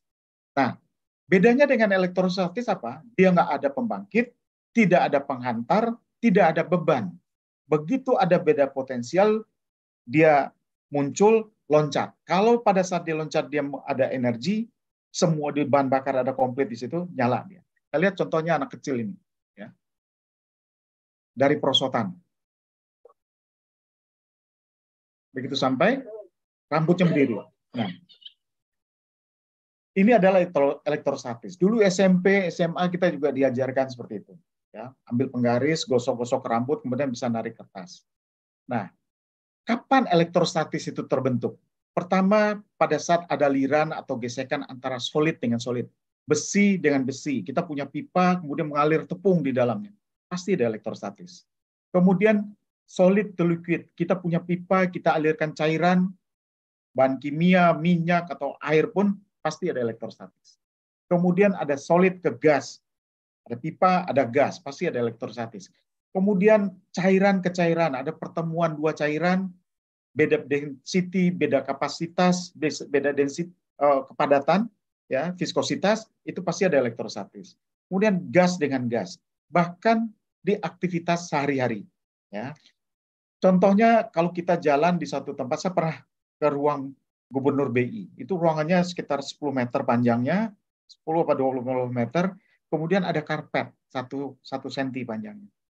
Dengan menggunakan celana bahan, kita mondar mandir aja tuh sai situ ya di ruangan yang 20 meter eh, jalan deh 10 kali mondar mandir. Begitu kita berhenti, di ujung celana kita yang ada bahan itu sudah ada minimum ignition energy elektrostatis tadi sebesar 0,25 milijoule. Kecil 0,25 milijoule. Tapi gas dapur kita yang melon 3, 3 kg itu nyalanya dengan cukup dengan energi 0,025 milijoule. Jadi begitu selesai jalan, elektrostatisnya muncul, lemparin tuh gas dapur itu, disemprotin, nyala. Ya. Itu salah satunya. Dulu bahkan kadang-kadang kita senggolan sama temen, juga ada elektrostatisnya. Bekerja dalam ruang dingin, 2 kali 2 meter, mau keluar pegang grendel pintu, juga kesetrum. Nah itu elektrostatis. Nah pada saat dia melompat itu, dia membawa energi. Nah masalahnya sekarang energi itu cukup nggak untuk menyalakan. Jadi nggak usah heran nanti kalau ada terjadi kebakaran, listriknya nggak ada. Jadi jangan dituduh lagi tuh korslet. Bisa jadi di situ ada elektrostatis. Bahan bakarnya udah cukup, ada debu. Ya. Yes, elektrostatis bisa muncul pun di tengah laut. Ini contohnya. Ini di salah satu teluk Meksiko. Ya. Ini ada offshore, kemudian ada pipa bawahnya eh, bocor, kemudian sampai ke atas nyala. Nah, pada saat ini apa yang terjadi? Jadi antara maka yang tadi saya sebutkan sebagai viskositas ya viskositas itu kekentalan pipa yang bocor membawa bahan bakar bahan bakar tadi ke atas jadi menumpuk satu tempat semacam satu kolom sementara sekelilingnya air laut karena bumi ini berputar terjadi perputaran nah perputaran itu di mana yang cair lebih cair atau viskositasnya lebih rendah akan mengelilingi viskositas yang lebih padat akibatnya terjadi gesekan. Nah, tapi karena masih di dalam laut, nggak ada oksigen, dia akan bergesekan aja. Tapi pergesekan ini, perputaran ini akan menuju ke atas karena dari perputaran bumi. Begitu dia sampai di permukaan laut, ketemu oksigen baru dia nyala. Itu salah satu penyebabnya adalah elektrostatis. Nah, kira-kira seperti ini. Nah, apalagi yang kita bisa lihat? Mungkin sudah banyak yang lihat seperti ini. Ya, kita lihat contohnya elektrostatis. Ini tangki IBC, kemudian ada drum yang diisikan ke IBC, tangki putih ini. Kemudian terjadi tumpahan. Operatornya apa? Dia akan lihat, karena baik, dia akan lap. Pada saat lihat, saat dia lap, apa yang terjadi? Tebakan. Itu gesekan dari elektrostatis. Jadi satu kali lagi, bahwa niat baik saja buat bekerja, itu nggak cukup. Orang itu juga harus diberi bekal pengetahuan. Halnya sama dengan yang ini. Ya, ini tangki tadi, kemudian ada tangki di atas dituang sama dia. Nah, kemudian apa yang terjadi? orang ini berdiri, dia menunggu sampai penuh di sini, ya, sambil menjaga supaya yang terjadi sesuatu. Dia menunggu. Nah kalau nggak ada CCTV dia jadi tertuduh nih sebetulnya. Nanti kita lihat apa yang terjadi. Mungkin udah banyak yang lihat. Cuma saya akan mengasih tahu, memberitahu apa yang terjadi sebetulnya tadi waktu dia terjadi. Nah terbakar dia. Apa yang terjadi di sini? Kesalahan yang dilakukan adalah pada saat dia menuangkan cairan dari atas ke bawah dengan menggunakan selang, selang itu cuma sampai di tutup atasnya aja. Sehingga cara cairan tadi jatuh bebas ke dasar tangki. Nah, jatuh bebas ini membuat turbulensi gerakan yang di dalam bergelombang yang menimbulkan elektrostatis. Karena bahan bakar tadi sudah cukup dan uapnya ada di dalam tangki, timbul elektrostatis, nyala. Nah, kita tahu tadi kalau terjadi elektrostatis 0 sampai 1 ampere saja itu bisa sampai 5.700 derajat Celcius. Begitu juga salah satu uh, elektrostatis yang terjadi di percetakan. Kita bisa lihat di sini. Ini semuanya udah penuh dengan gas.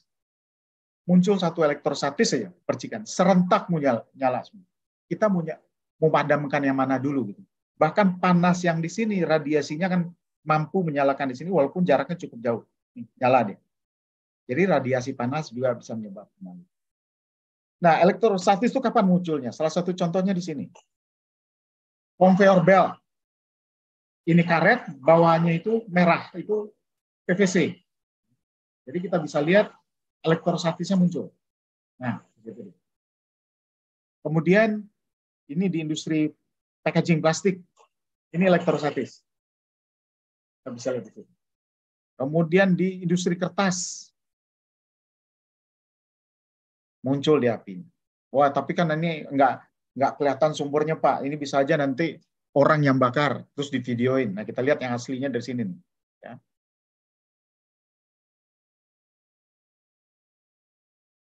Ini roller kertas ya. Kita lihat di sini. Karena elektrostatis muncul dia. Nah, terjadi dia. Ya.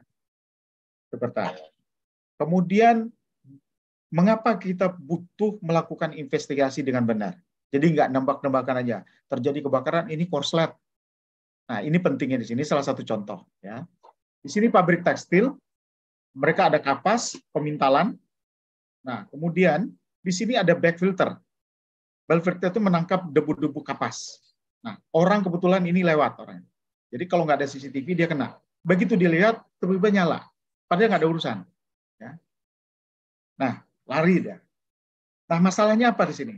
Waktu itu mereka menemukan, mengambil kesimpulan bahwa kebakaran itu terjadi karena back filter itu ada di dalam ruangan. Sehingga dalam perbaikan, back filter ini dipindah ke luar bangunan. Jadi kira-kira seperti ini di sini udah udah bersih, nggak ada back filter lagi. Nah, ternyata kebakaran itu dia diakibatkan oleh elektrostatis. Karena kesimpulannya salah, yang dipindahkan back filter, setelah itu provokasi, elektrostatisnya nggak dihilangkan, masih tetap ada, cuma pindah tempat. Nah, pindahnya ke mana? Kita lihat yang ini. Pindah tempat aja dia. Jadi sumbernya itu harus makanya kita mengapa harus melakukan investigasi yang benar untuk mendapatkan masalah sesungguhnya sehingga itu bisa kita bisa melakukan perbaik, perbaikan di kemudian hari. Itu juga elektrostatis, nggak ada listrik, nggak ada apa segala macam. Ini dapat kiriman video dari Cina, mungkin banyaknya lihat juga. Kita lihat nih. Ya. Begitu selesai, yang temannya turun,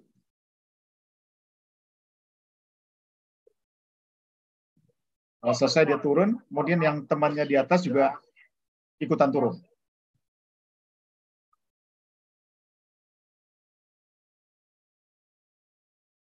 Nah, pada saat dia turun, kita perhatiin kakinya. Belum sampai kakinya di bawah, udah terjadi loncatan api. Di sini, ya lihat. Langsung terjadi. Ini juga elektrostatis. Nah, jadi tidak pernah muncul dan nggak pernah ada tanda-tanda tapi bisa diukur. Jadi kita dengan alat ukur kita bisa nentukan di elektrostatisnya sudah udah tinggi dan segala macam. Tangki juga begitu, tangki bahan bakar selama ini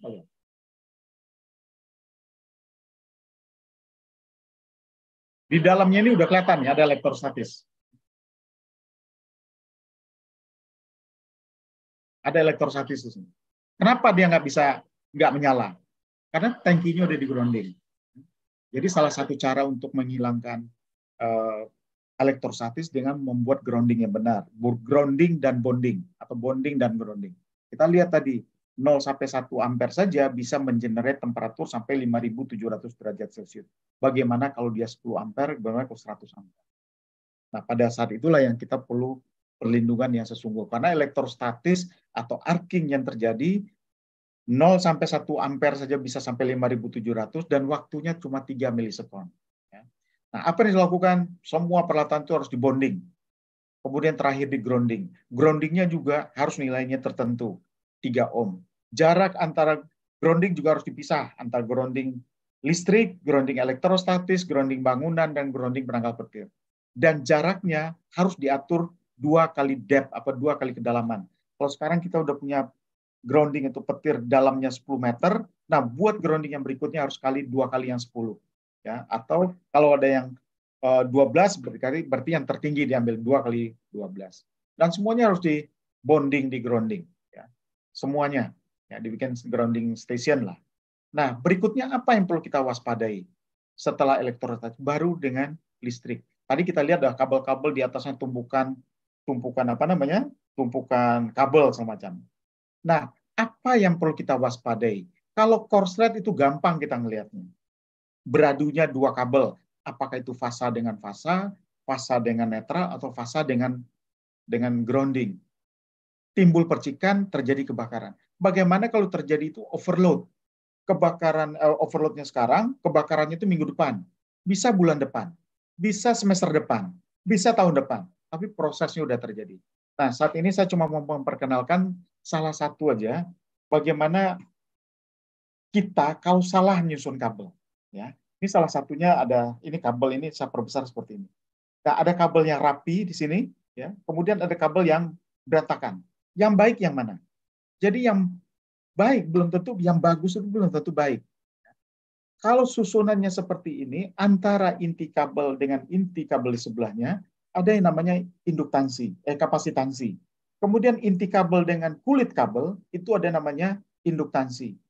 Kalau salah menyusunnya, jadi dibikin susun seperti ini rapi, satu-satu-satu itu RST, RST, atau RRR, ada SS, timbul panas akibat timbul yang panas tadi merusak isolasi, ya, tembus dia.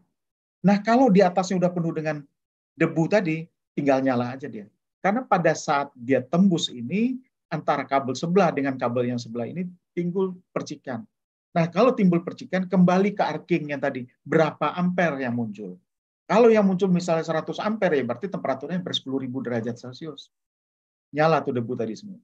Ya. Karena ada inti kabel tadi ini yang saya jelaskan bahwa antara inti kabel satu dengan inti kabel sebelahnya itu ada yang namanya induktansi, kemudian antara inti kabel dengan inti kabel di sebelahnya ada namanya kapasitansi. Nah, begitu juga dengan susunan kabel seperti ini. Kita bisa lihat, ya, ini berantakan. Kemudian yang ini rapi. Yang yang benar yang mana? Ya, kalau kita bicara benar, yang benar seperti ini. Tapi kalau yang bagusnya secara listrik, yang mana? Yang ini dia. Karena dengan kabel itu di seperti diacak atau disusun uh, agak berantakan seperti itu, dia saling meniadakan temperatur yang timbul di dalam panel, eh di dalam kabel tadi. Jadi kabel yang timbul akan panas itu akan diturunkan temperatur. Tapi nanti ada tata cara tersendiri yang harus kita kita lihat. Jadi ada ada pendalaman dari ini sebuah contoh saja. Sehingga kabel itu harus disusun seperti ini. RST tambah grounding satu ada jarak. RST lagi ada jarak, ada ada grounding, kemudian RST ada jarak. RST lagi ada jarak. Nah, ini kabelnya utuh. Dan ini kita bisa melihat bahwa kabel ini tidak akan buat jadi masalah nanti ke depan.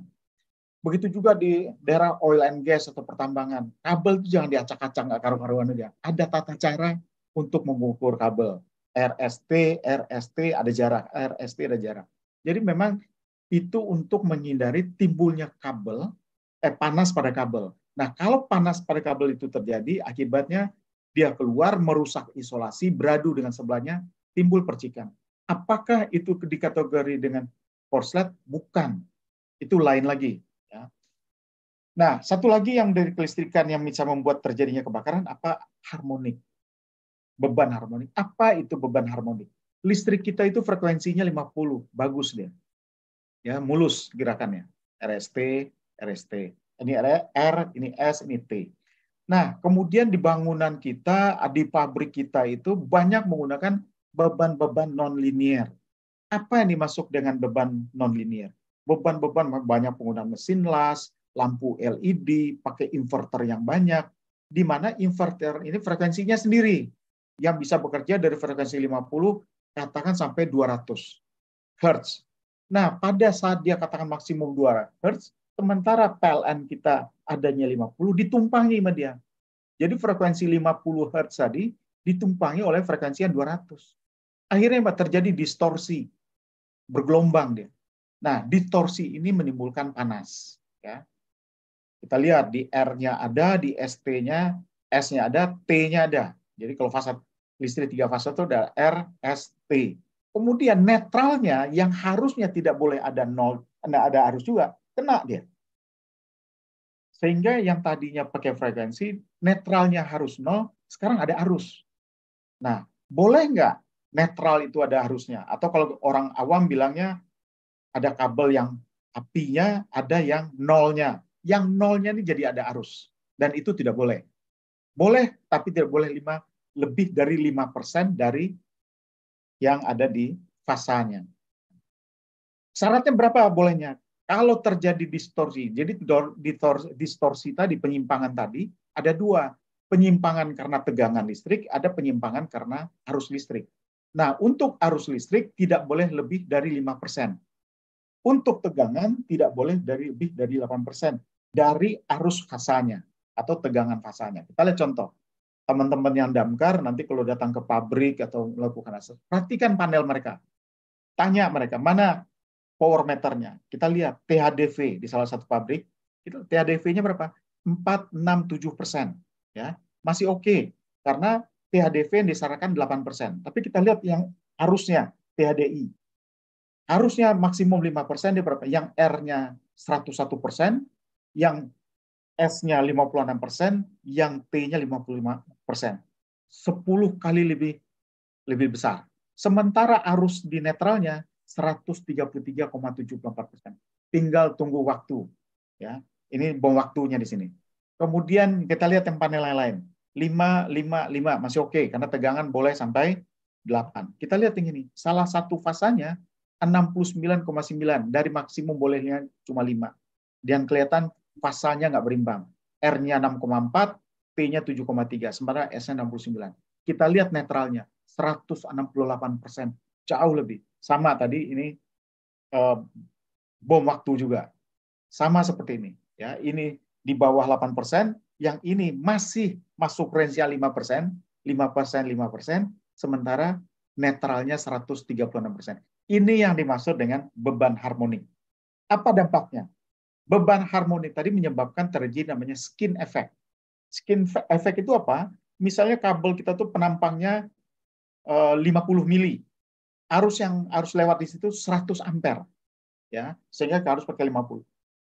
Karena terjadi beban harmonik, arusnya tadi nggak memenuhi semua permukaan ini, cuma ngambil setengahnya aja. Makin besar harmoniknya, makin ke pinggir arusnya. Sehingga arus yang tadi 100 ampere harus dilewati oleh penampang yang 50, dia cuma dapat 10 di sini. Akibatnya apa? Kabelnya panas. Seperti ini. Kalau dia tiga triangle, ya panasnya di sini. Tapi kalau dia numpuk, panasnya di sentral.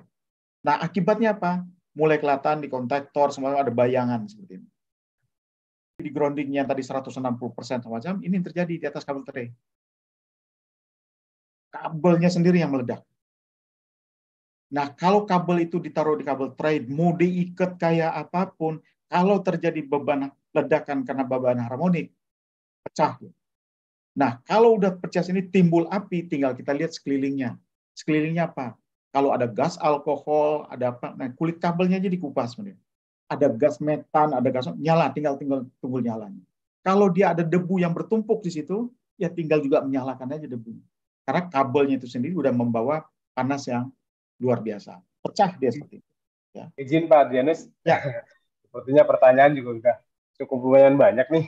Oke, Ya, kalau baik. kalau ini mungkin izin eh, dibahas ya pertanyaan Pak Adrianus ya. Oke, saya selesaikan satu menit lagi. Ya. Ya, boleh. Nah, ini yang terjadi kabelnya pecah segala macam. Nah, kontaktor pun jadi terbelah semua segala macam. Jadi dari debu itu tadi sendiri dengan pemicunya elektrostatis dan elektrikal, itulah yang perlu diwaspadai. Dan kalau terjadi kebakaran, ini pelajaran betul pelajaran buat teman-teman kita yang udah ambil kelas investigasi ini. Kita tinggal lihat nih, kalau kabelnya terbakar, kita ngelihat ada dua warna.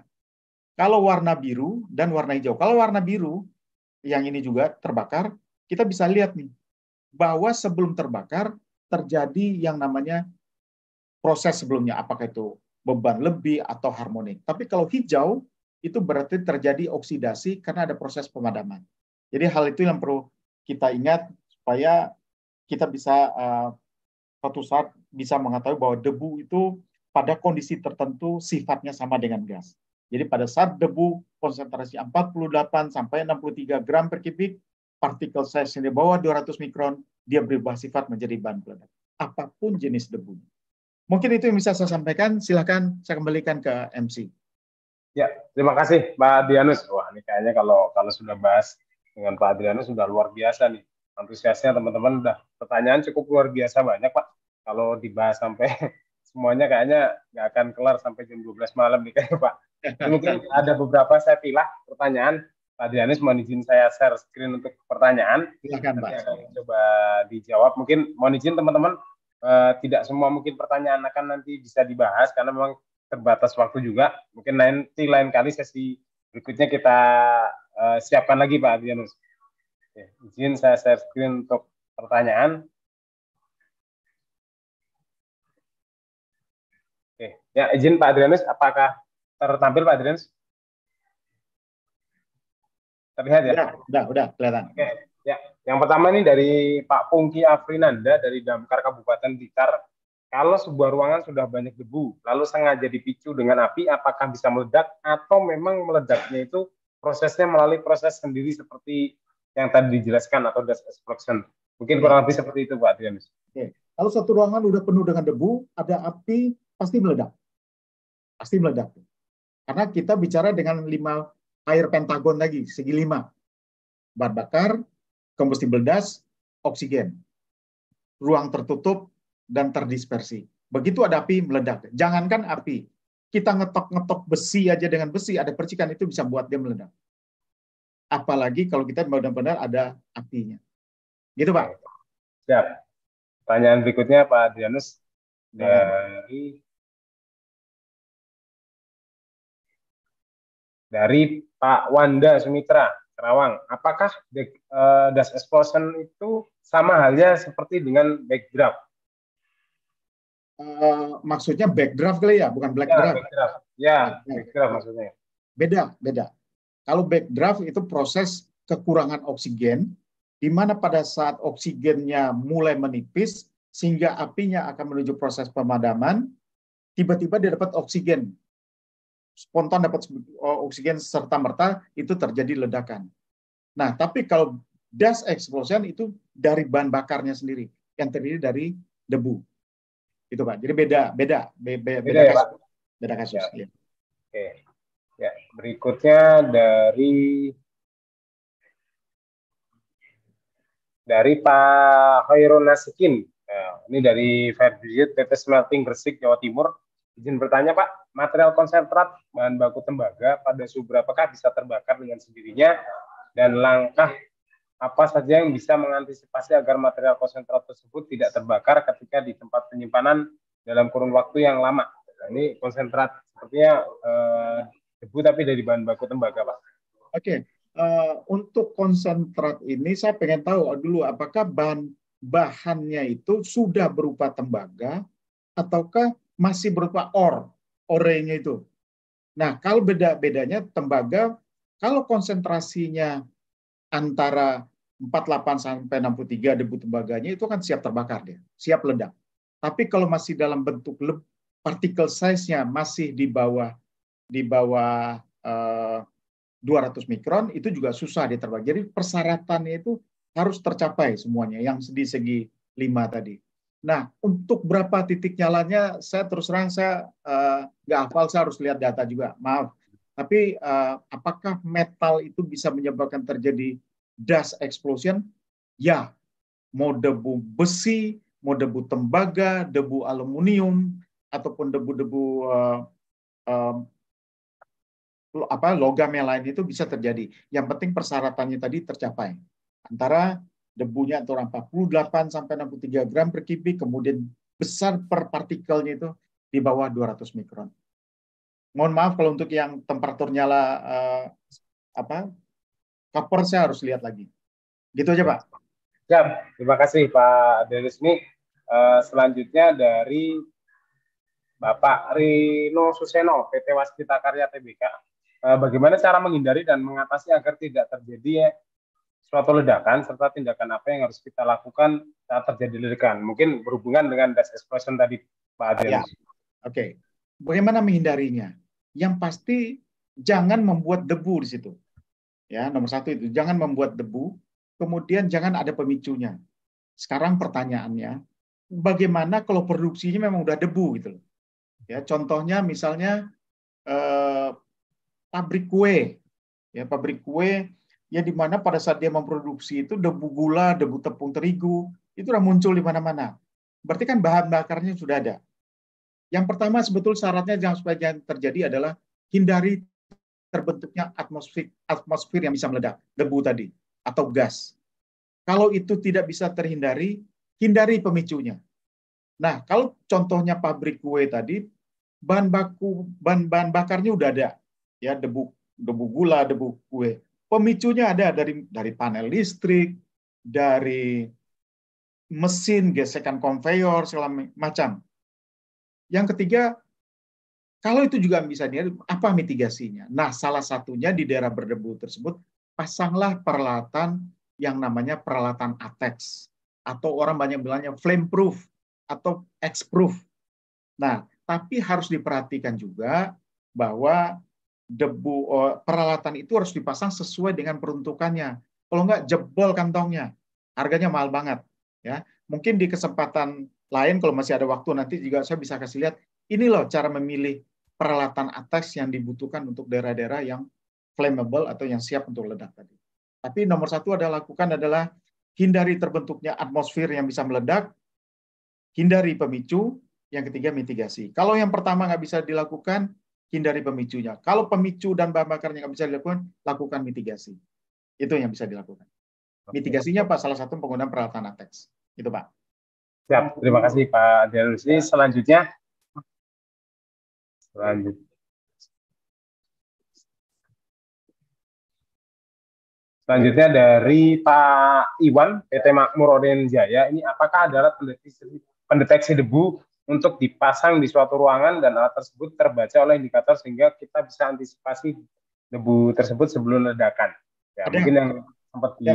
tadi Pak. Katanya ada uh, dust detector atau spark detector tadi. Jadi pada saat tertentu konsentrasi udah tercapai, sama seperti alarm, smoke detector semacam dia bunyi. Cuma kalau untuk ini dia membaca konsentrasi debunya dan particle size. Dan resiko biasanya adalah pada saat pemilihan pemilihan uh, peralatan ini kita harus tahu dulu kalau terjadi penebalan debu atau penumpukan debu, peralatan ini bisa menembus debu pada ketebalan berapa. Jadi ada macam-macam tuh. Kalau ada yang tebu debunya numpuk 5 mil, 5 cm, 10 cm. Nah, masih bisa nggak alat ini menembus sehingga memberi sensor buat kita pemberitahuan ke kita. Nah, pada titik kritis pada saat kita mau beli peralatan itu, sensor itu yang dipentingkan berapa ketebalan debu yang bisa dia sensor. Gitu, Pak. Ya. Eh, Berikutnya ini ada dari PLTU Indramayu Pak. Izin bertanya Oke. metode pemadaman yang tepat dan aman pada kebakaran debu batu bara Pak yang menumpuk pada saat kompreor yang tertutup. Gimana cara tepatnya Pak Dianus? Mohon maaf. Saya udah banyak kasih sampean ke teman-teman di PJB, Indonesia Power, segala macam gitu ya. Pertama kita tentukan dulu batu bara yang di tempat kita itu low range atau high range. Kalau low range, lakukan trimming. Dibolak-balik. Karena ada sebagian teman-teman kita di tambang atau di, di pembangkit itu yang melakukan pembasahan. Jadi batu baranya dibasah, dibasahkan. Tapi kasihan boilernya. Boilernya kalau lebih berat kerjanya karena harus me, mem, apa, me, membakar batu bara yang basah. Nah, makanya dilakukan trimming. Trimming itu artinya dibolak-balik sehingga eh, metan yang ada di batu bara tadi terlepas ke udara. Itu satu. Kemudian eh, lakukan eh, proses berikutnya kalau untuk yang high range itu pemadatan. Nah, kalau terjadi sebetulnya idealnya itu jangan menggunakan batu bara yang benar-benar tertutup conveyor belnya. Ya, conveyor belnya juga terlalu tutup. Jadi ada tempat di mana ada pertukaran udara dalam dan luar. Sehingga pada saat terjadi ledakan, enggak semua conveyor belt yang tertutup itu meledak. Nah, kalau dalam suatu ruang tertutup dia meledak, seperti di dalam ducting, itu bisa seperti semacam uh, ruang ledak. Jadi laras ledak gitu. Jadi ruang ledaknya ada di dalam ruang tertutup itu. Nah, apa yang harus dilakukan itu dilakukan kondisi-kondisi tertentu dan lengkapi conveyor belt-nya dengan yang namanya uh, magnetic trap sehingga kalau ada metal-metal yang bisa menjadi pemicu segala macam bisa dideteksi. Kemudian di titik tertentu juga disiapkan uh, semacam detektor untuk mengetahui apakah kok batu bara itu membawa api, uh, udah membawa batu bara yang udah menyala apa belum. Jadi kita bisa mendeteksi dari titik awal. Itu Pak. Siap. Terima kasih uh, Pak Adrianus. Berikutnya ada dari Nah, dari Pak Arif Hidayat, Damkar Kota Tangerang, bagaimana membedakan debu yang akan menghasilkan percikan api yang sangat dahsyat ledakannya? Mungkin ini berkaitan dengan uh, debu yang seperti apa mungkin seperti itu, Pak Adrian. Oke, jadi persyaratannya itu yang penting konsentrasinya tercapai dulu. Jadi misalnya konsentrasinya range-nya untuk siap ledak itu 48 sampai 63 gram per kubik. Jadi dalam satu kubik, dalam satu ruangan, satu kubik itu satu kali satu kali satu panjang kali lebar kali tinggi itu satu satu meter itu satu kubik. Nah dia ada 48 gram sampai 63 gram di sana. Nah pada saat dan partikel size-nya harus di bawah 200 mikron. Nah kalau itu tercapai, kemudian kita ngasih pemicu terjadi ledakan. Nah hal itu yang perlu perlu kita pahami dulu. Jadi kalau konsentrasinya di bawah 48, misalnya katakan dia cuma 35 gram, nggak terjadi juga. Tapi sebaliknya di atas dari itu, misalnya 70 gram, enggak juga terjadi. Jadi harus di range-nya itu, di rentang uh, yang seperti itu, baru bisa menjadi penyebab ledakan. Dan debunya apa aja? Semua debu, bahkan yang di textbook-nya, itu tidak dimungkinkan terjadi ledakan debu, itu terjadi. Jadi kadang-kadang ya textbook-nya boleh aja ngomong apa gitu. Tapi seperti pengalaman tadi saya cerita di pabrik semen di Palimanan, itu terjadi ledakan, itu debu semen. Walaupun silika itu tidak termasuk dalam debu yang e, bisa meledak, tapi itu meledak dengan kerugian hampir 630 juta euro waktu itu, hampir 10 triliun. Gitu Pak. Siap. Terima kasih Pak Dennis. Ini mungkin ada lagi Pak ini dari Bapak Muhammad Rosidrido Ridho, Damkar Kabupaten Karanganyar mau tanya Pak, yang dimaksud dengan confinement gas dan dispersion gas. Ini apa sih Pak? Oke. Okay. Confinement gas itu karena konsentrasinya sudah tercapai, bahan bakarnya sudah ada, oksigennya sudah ada, partikel saya terpenuhi, kemudian dia ada di ruang tertutup, confined. Itu ledakannya akan jauh lebih hebat. Kemudian kalau dia terurai di udara, itu ledakannya lebih hebat. Tapi dua syarat itu sebetulnya tidak terpenuhi pun nggak masalah. Tadi kita udah kasih lihat bahwa debu tidak terurai pun atau terdispersi, dia menumpuk itu bisa nyala. Sebaliknya juga dalam ruang terbuka itu juga bisa meledak. Jadi memang secara ruang tertutup dan ruang terbuka, terurai atau tidak terurai, dia terjadi. Cuma dampak yang lebih besar kalau dia terjadi di ruang tertutup dan dalam kondisi dia terurai. Gitu Pak, pengertiannya seperti itu. Nah, ini mungkin izin Pak, pertanyaan sebenarnya banyak, cuman mungkin ini dua terakhir ya Pak. Nah, ya, silakan. Terakhir ya. Oke, ya uh, dari Mas Bayu Pamungkas, Rumah Sakit Atma Jaya. Selamat malam Pak. Izin regulasi terkait dengan manajemen kabel atau standar instalasi kabel dapat dilihat di mana Pak? Terima kasih sebelumnya Pak. Mungkin berkaitan dengan tadi kabel yang Pak Adrianus jelaskan. Ya, jadi begini Pak, standar kabel itu cara nyusunnya di PUIL ada. Ya. Peraturan umum, eh, eh, kalau dulu namanya peraturan peraturan umum instalasi listrik. Artinya kalau kita lakukan lebih baik tidak dilakukan kita dapat hukuman. Nah, belakangan ini namanya bukan peraturan lagi, persyaratan umum instalasi listrik. Mau di mau dilaku, dilaksanakan boleh, nggak dilaksanakan nggak ada sanksi. Nah, ada di PUIL, Bapak bisa tahu gimana cara menyusun kabel yang benar. Nah, di situ bisa lihat. Kemudian Bapak bisa lihat juga di NEC 505, ya NEC 505. Kemudian bisa lihat lagi di IEEE ya itu ada di sana. Kemudian di NFPA 70 ada juga di situ. Atau kalau Bapak beli kabel, minta brosur komplitnya di bagian belakang bisa biasanya ada tata cara untuk menyusun kabel. Kira-kira itu. Oke, siap. Terima kasih. Ini mungkin uh, pertanyaan Pak Mungkas, Pak Adrianus, sebelum siap. nanti ke narasumber dua. siap, siap. Uh, izin. Ah, uh, dari Muhammad Ridwan Subang untuk mengantisipasi penumpukan debu apa yang harus kita lakukan serta jika sudah terjadi kebakaran kecil akibat debu apa seperti apa yang harus digunakan dan mungkin tambahan Pak Adrianus kalau seba sebagai seorang petugas damkar karena ini banyak nih petugas damkar kalau ketika ada explosion seperti itu kami harus seperti apa untuk petugas damkar Pak? Baik, kalau um, menghindari terjadi debu ya pasti housekeeping ya jadi kalau orang K3 atau orang-orang HSC itu kan memperhatikan debu itu dari segi kesehatan. Bahwa kalau debu dengan konsentrasi atau partikel sekian itu bisa merusak pernapasan. Benar juga. Tapi dari sisi berikutnya, sisi engineering, itu debu itu bisa menyebabkan ledakan. Nah, bagaimana cara mengatasi debu? Sebetulnya uh, jawabannya sederhana. Supaya jangan ada debu, ya jangan bikin debu gitu. Nah, bagaimana kalau sudah terjadi debu? Ya, tadi kita sampaikan Bapak bisa menggunakan dust collector, tapi motor di dust collectornya harus berstandar ATEX atau explosion proof. Kalau Bapak menggunakan vacuum cleaner, vacuum cleanernya juga yang menggunakan X-proof. Supaya apa? Supaya jangan debu yang ada di di yang tadi risiko ledakannya di luar vacuum cleaner atau dust collector akan pindah ke dalam. Jadi sama aja. Jadi eh, lakukan eh, penggunaan dengan eh, vacuum cleaner ataupun dengan eh, dust collector. Nah, kalau nggak punya dust collector, nggak punya vacuum cleaner apa? Ya manual, pakai kuas pelan-pelan. Kalau darahnya luas banget ya mau mau nggak mau ada satu orang yang dedicated untuk membersihkan. Hari tanggal 1, satu bulan baru gitu ya, mulai bersihkan sini, tanggal 31 udah selesai dari ujung. Tanggal 1 mulai lagi dari ujung yang lain. Jadi kerjanya itu bersihin debu aja gitu. Ya. Nah, bagaimana dengan petugas damkar? Kalau sudah terjadi, udah telat, mau diapain lagi? Tadi kan kita lihat videonya kalau meledak ya meledak. Kalau dia terbakar dari tumpukan, nggak ada waktu gitu loh.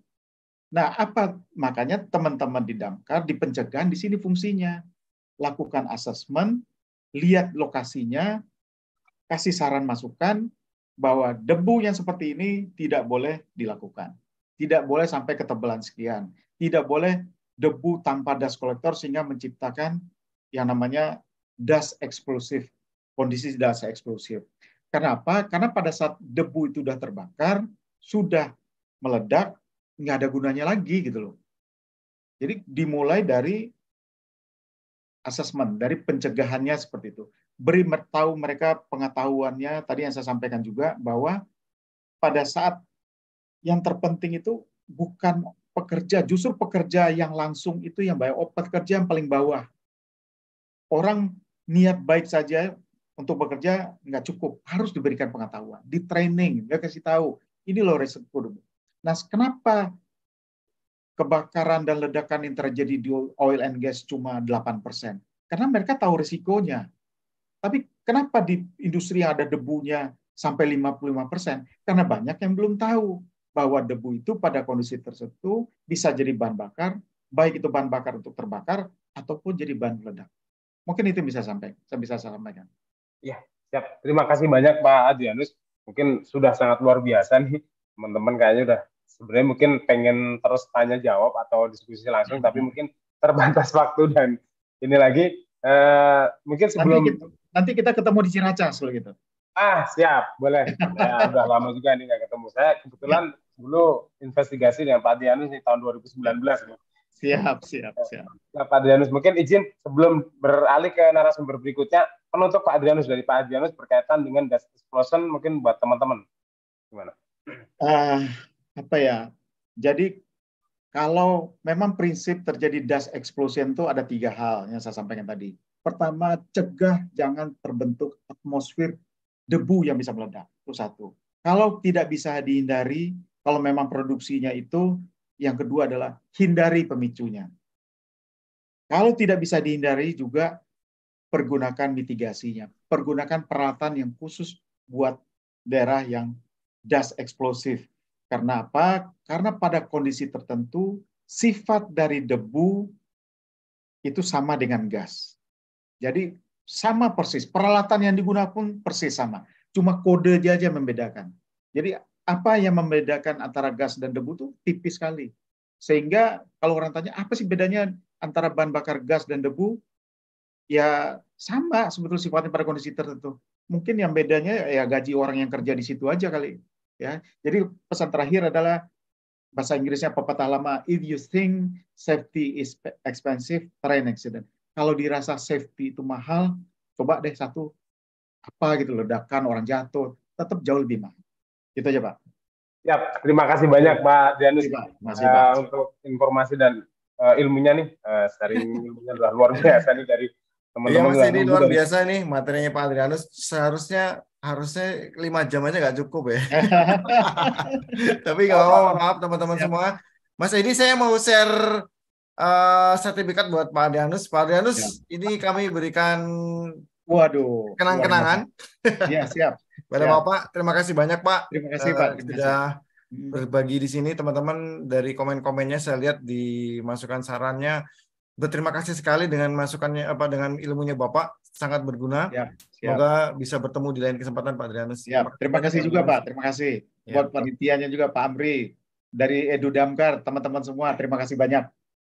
Saya boleh tetap ngikutin ya? Boleh Pak, siap, ya, Pak. boleh Pak, sangat Bergabung, boleh. Pak. Nanti Ya, kalau ada pertanyaan lagi bisa dijawab juga. Siap, siap. Makasih, makasih.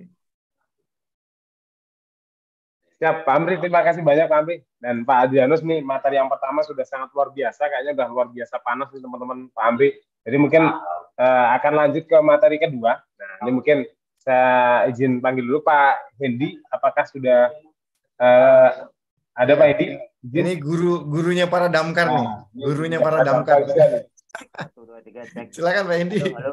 Satu, dua, tiga. Apakah Siapa? terdengar jelas Pak Hendi. Jadi kalau Pak Adrianus dan Pak Hendi itu kalau untuk orang pemadam udah nggak asing lah pokoknya. Siap. Selamat malam Pak Hendi. Ya, selamat malam. Siap, ya, siap. Izin Pak Edi, mudah-mudahan eh, hari ini diteruskan tadi sudah dibuka dengan luar biasa dan ini ditunggu-tunggu juga nih Pak Edi materinya untuk eh, malam hari ini terkait dengan pencegahan atau dari persepsi damkar. Nah, ini izin, silakan eh, untuk waktunya kami persilakan Pak Edi. Baik, terima kasih eh, moderator dan panitia S- eh, SHED Club. Ini dalam rangka tiga tahun anniversary ya, luar biasa. Eh, tadi saya menyimak dari awal materi beliau, guru kita semua, masalah investigasi dan PR-PR-nya masih banyak buat kita untuk insan damkar, baik yang government maupun yang private ya. Bagaimana tadi, tiga hal, maaf saya mengawali, bagaimana investigasi itu harus benar. Yang kedua, bagaimana eh, debu itu berbahaya. Ini PR besar buat kita semua di eh, teman-teman eh, insan damkar. Baik teman-teman sekalian, eh, selamat ulang tahun buat kawan-kawan dari SHED Club.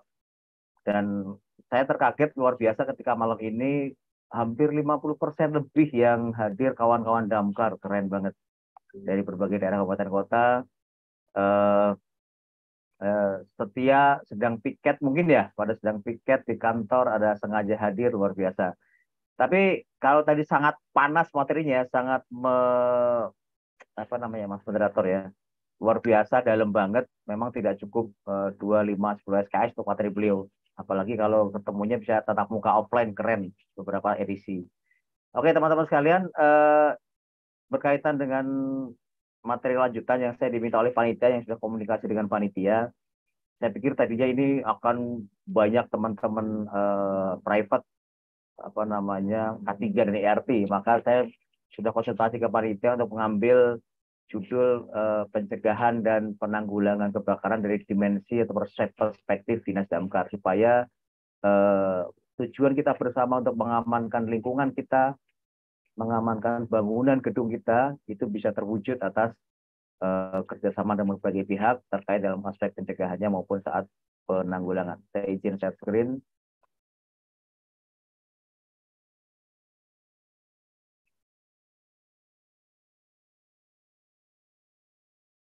Oke, baik.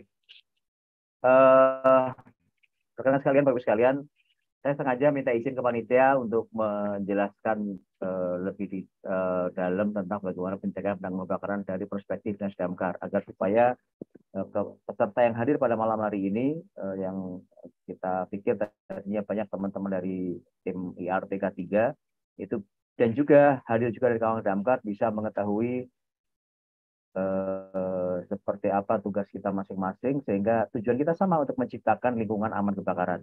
Dimulai dari dari lingkungan-lingkungan uh, bangunan gedung sendiri. Baik, Bapak sekalian, eh, teman-teman uh, yang di, hadir di webinar kali ini, tentu kita uh, sering mendengar dan banyak mengetahui bahwa banyak sekali regulasi yang muncul di Indonesia ini dari berbagai pembinaan teknis ke kementerian. Nah, karena memang karena memang fire itu kebakaran kan objeknya sangat ber, bermacam-macam gitu dari mulai kebakaran rumah permukiman, kebakaran sektor industri, manufaktur, kebakaran moda transportasi, kebakaran uh, hutan, kebakaran apa namanya, maaf, kebakaran rumah tinggal dan seterusnya. Nah maka teman-teman sekalian, ketika kita bicara objek yang terbakar sangat banyak di sekitar kita dari berbagai jenis yang ada, oleh karenanya Kementerian-Kementerian teknis pun juga mengeluarkan aspek regulasinya baik regulasi dari aspek pencegahannya maupun penanggulangannya. Ketika kita bicara rumah sakit, eh, dinas damkar sangat terbiasa ketemu dengan eh, peraturan Menteri Kesehatan tentang sistem proteksi kebakaran pada bangunan rumah sakit. Termasuk di dalamnya ada bagaimana membentuk K3RS, Komite Rumah Sakit, dan seterusnya. Kemudian pada moda transportasi, eh, kita baru melihat di tahun 2000 2020-2021 kemarin ada keputusan Dirjen uh, Transportasi Darat kaitannya dengan mobil kendaraan yang uh, keluaran tahun 2021 maka diwajibkan oleh APAR misalkan salah satunya. Walaupun sebetulnya uh, resiko terbakarnya moda transportasi, mobil dan seterusnya yang lain itu juga ada. Sehingga uh, di yang terbaru mobil-mobil kalau kita lihat punya mobil maka diwajibkan untuk memiliki alat pemadam api ringan APAR. Walaupun di awalnya masih disampaikan bahwa apar yang ada itu hanya dibatasi pada minimal saat itu eh, katakanlah hanya di eh, sekian kilo, padahal sebenarnya kita kan bicara apar bukan kilonya tapi fire ratingnya. Lalu kebakaran pada sektor industri eh, banyak sekali ribuan, ratusan bahkan banyak sekali industri di beberapa wilayah kita. Saya yang berdomisili di Kabupaten Bandung lebih dari 500 industri atau manufaktur pabrik. Maka kemudian juga ketika bicara industri di situ ada aspek tenaga kerja. Maka Kementerian Tenaga Kerja melalui Undang-Undang Nomor 170 dan semua turunannya sangat mengatur lengkap tentang bagaimana aspek pencegahan kebakaran dan juga penanggulangan kebakaran. Kita mendengar dan melihat uh, ada misalkan ada persyaratan teknis alat pemadam api ringan di Permenaker uh, tahun-tahun 80-an dan seterusnya, ada tentang fire alarm detector. Kemudian juga kita mendengar dan melihat mereka juga mengatur tentang unit penanggulangan kebakaran di tempat kerja. Nah, kemudian ketika bicara kebakaran hutan lahan misalkan, eh, kawan-kawan dari Kementerian Kehutanan itu juga membuat sebuah regulasi baik dari aspek pencegahan maupun penanggulangannya. Kita mengenal ada kawan-kawan yang sejawat dengan kita, ada eh, Manggala Agni, kemudian ada mereka menciptakan masyarakat peduli api dan seterusnya untuk kaitannya kebakaran hutan dan lahan.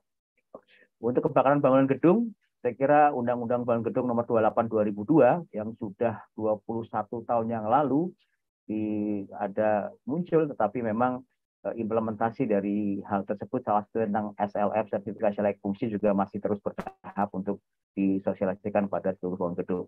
Kemudian untuk bangunan rumah dan permukiman di lingkup kewilayahan kabupaten kota, maka eh, salah satu tugas eh, Dinas Pemadam Kebakaran dan Penyelamatan di Kabupaten Kota di bawah naungan Kementerian Dalam Negeri juga membuat berbagai banyak regulasi tentang aspek pencegahannya dan juga penanggulangan kebakarannya. Ada berbagai hal.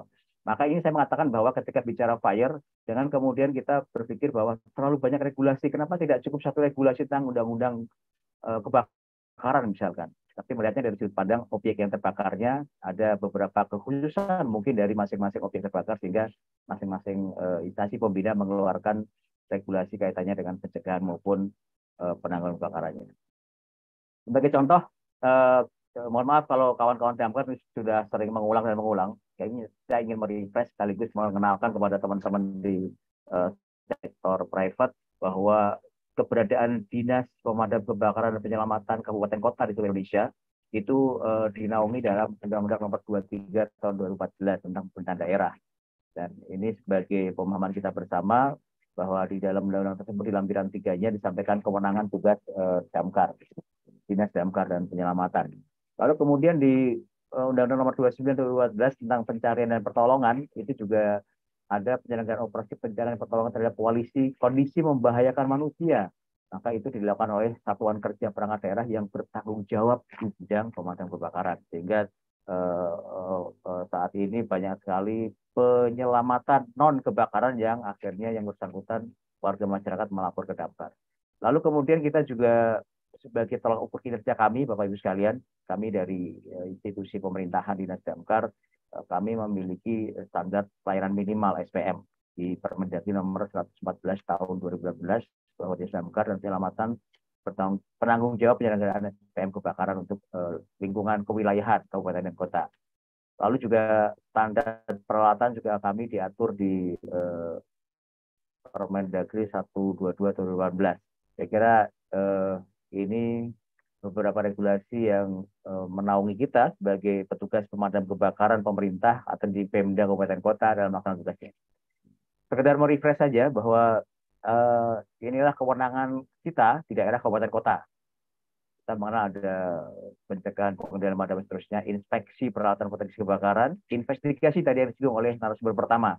Nah, ini menjadi hal yang berat uh, yang harus sama-sama kita mulai investigasi kejadian kebakaran dan berharap memang uh, akan semakin sering dan banyak materi-materi tentang investigation baik uh, tingkat-tingkat formal, fintech dan seterusnya. Karena memang sering kali tadi Pak Adrianus saya sepakat bahwa sering kali kita uh, apa namanya sangat cepat dan mudah mengklaim bahwa salah satu kejadian kebakaran sekian persentasenya adalah karena faktor uh, short circuit.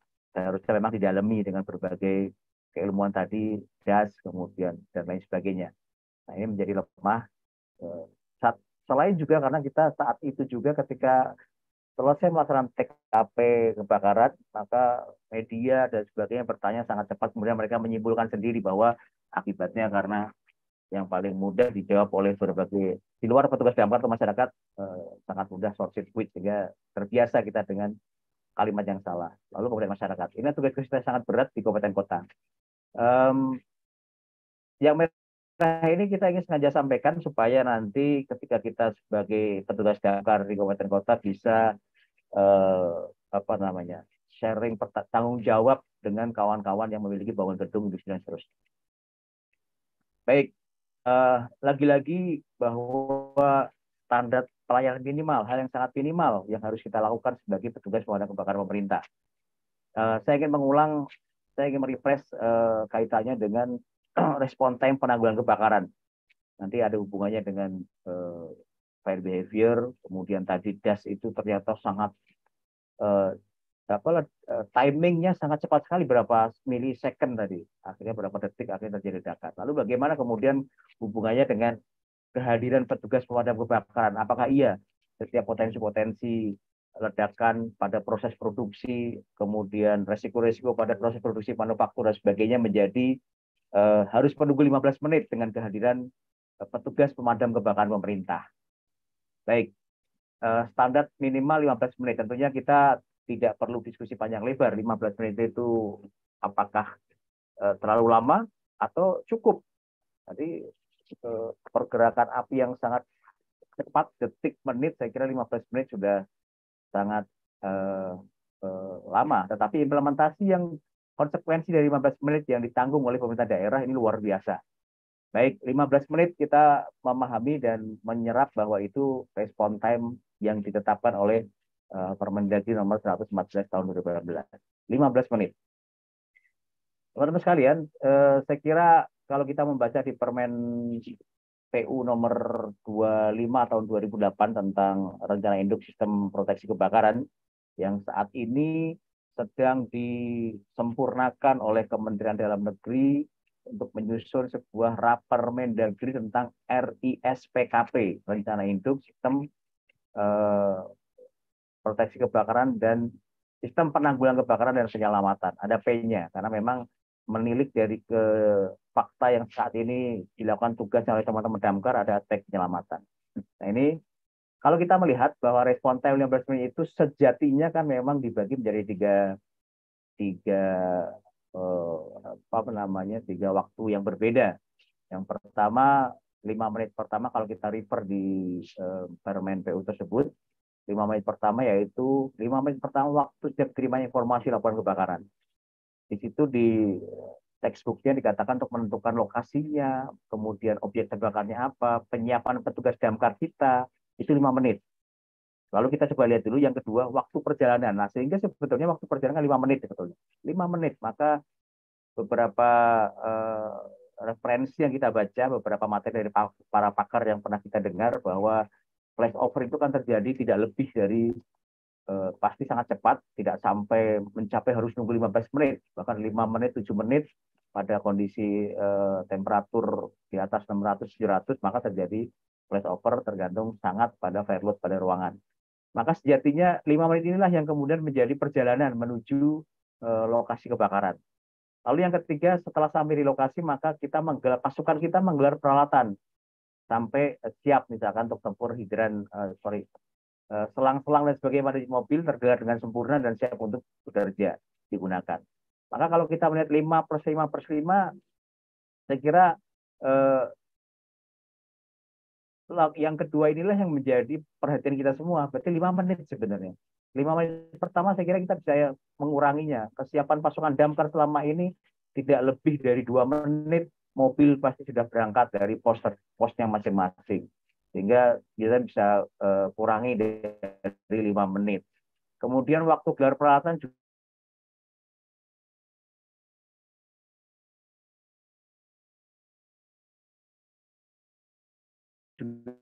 tidak lebih dari dua menit pasukan damkar yang terlatih sudah lima menit perjalanan tersebut. Tujuannya adalah untuk uh,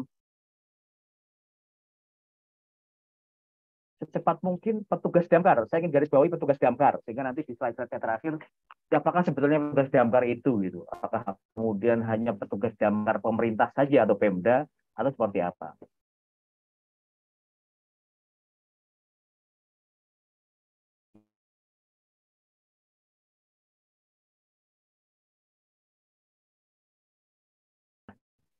Sejatinya adalah secepat mungkin itu prinsipnya, respon time.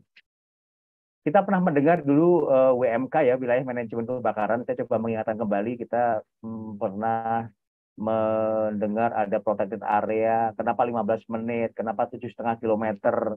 Itu textbook yang eh, saat ini saya konsultasi dengan Profesor Suprapto 2008-2009 ketika kita diskusi. Maka kemudian saya coba gambarkan dalam sebuah gambar sederhana seandainya R-nya itu tujuh setengah kilometer maka sejatinya protected area itu dapat tercapai dalam uh, uh, 15 menit ketika R-nya ada setengah kilometer. Jadi kalau saya hitung luas lingkaran VR kuadrat, maka sebetulnya 3,14 kali tujuh setengah kilometer per uh, kilometer kuadrat, sebetulnya kita 176 kilometer untuk satu coverage uh, WMK yang sebenarnya yang intinya bisa terjangkau 15 menit. Tapi konsekuensinya luar biasa teman-teman sekalian. Ketika sebuah kabupaten Bandung misalkan di tempat kami ada 31 kecamatan, 280 desa kelurahan, maka semestinya harus berapa pos uh, dibentuk untuk menghitung sebagai protes area yang terjangkau dalam 15 menit. Baik, uh, maka kemudian pemerintah daerah atau negara ini dalam menetapkan sebuah regulasi, kemudian menet- me- menyampaikan bahwa respon time yang 15 menit, katakanlah kita sepakat dan terima dulu di 15 menit. Walaupun tadi kita bicara 15 menit itu pasti sudah terjadi flash over nih semestinya. Nah, tetapi kemudian eh, ini harus dicapai oleh siapa? Eh, amanat kita bersama di regulasi kita di Peraturan Menteri Dalam Negeri Nomor 114 2018, maka eh, capaian 15 menit ini bisa semestinya memang dilakukan oleh dua pihak. Kenapa dua pihak? Nanti saya akan cerita di slide eh, berikutnya tentang jawab siapa dan bagaimana. Oleh Dinas Damkar, yaitu kita Pemda, ini kita eh, kawan-kawan eh, Dinas Pemadam Kebakaran Pemerintah, itu pada lingkup wilayah kabupaten kota ada 15 menit. Nah, pertanyaannya adalah bagaimana eh, capaian eh, respon time oleh warga masyarakat yang kita bina. Siapa itu warga masyarakat? Ada lingkungan kelurahan desa, ada gedung publik, ada bangunan, ada eh, manufaktur, industri dan sebagainya. Maka pada lingkup lokal bangunan semestinya secepat mungkin menghindari eh, terjadinya flashover. Seberapa cepat nanti? Baik. Bisa 15 menit, dan semestinya kalau sudah 15 menit harusnya damkar sudah datang. Maka pertanyaan besar kita adalah ketika kita bicara eh, apa namanya behavior pada pemakaman fire pada kondisi ini kira-kira sebelum terjadi flashover. Sebelum terjadi flashover. Nah, kita pernah me, dan melihat grafik seperti ini kira-kira teman-teman sekalian. Maka di beberapa referensi yang kita dapatkan 3 sampai 10 menit itu kira-kira eh, dari mulai ignition, api awal, api nyala, api tumbuh, lalu katakanlah eh, menjelang terjadi flashover. Maka semestinya adalah eh, sebelum terjadi flashover, petugas pemadam kebakaran hadir. Petugas pemadam kebakaran hadir. Baik. Eh, ini sebagai gambaran saja teman-teman yang di luar damkar pemerintah bahwa kami eh, dalam mencapai respon time kami dihitung dari ketika ada dua hal. Yang pertama ketika damkar sampai di lokasi terbakar, maka kami dievaluasi dan dihitung dalam sekian ratus kali kebakaran dalam setahun, berapa kali damkar sampai ke lokasi dengan kondisi di bawah 15 menit. Tapi yang kedua, yang ingin kita garis bawahi pada malam hari ini adalah bagaimana kemudian eh, capaian standar pelayanan minimal respon time ini juga dicapai oleh petugas pemadam kebakaran atau warga masyarakat yang dibina dan dilatih oleh pemadam kebakaran dinas.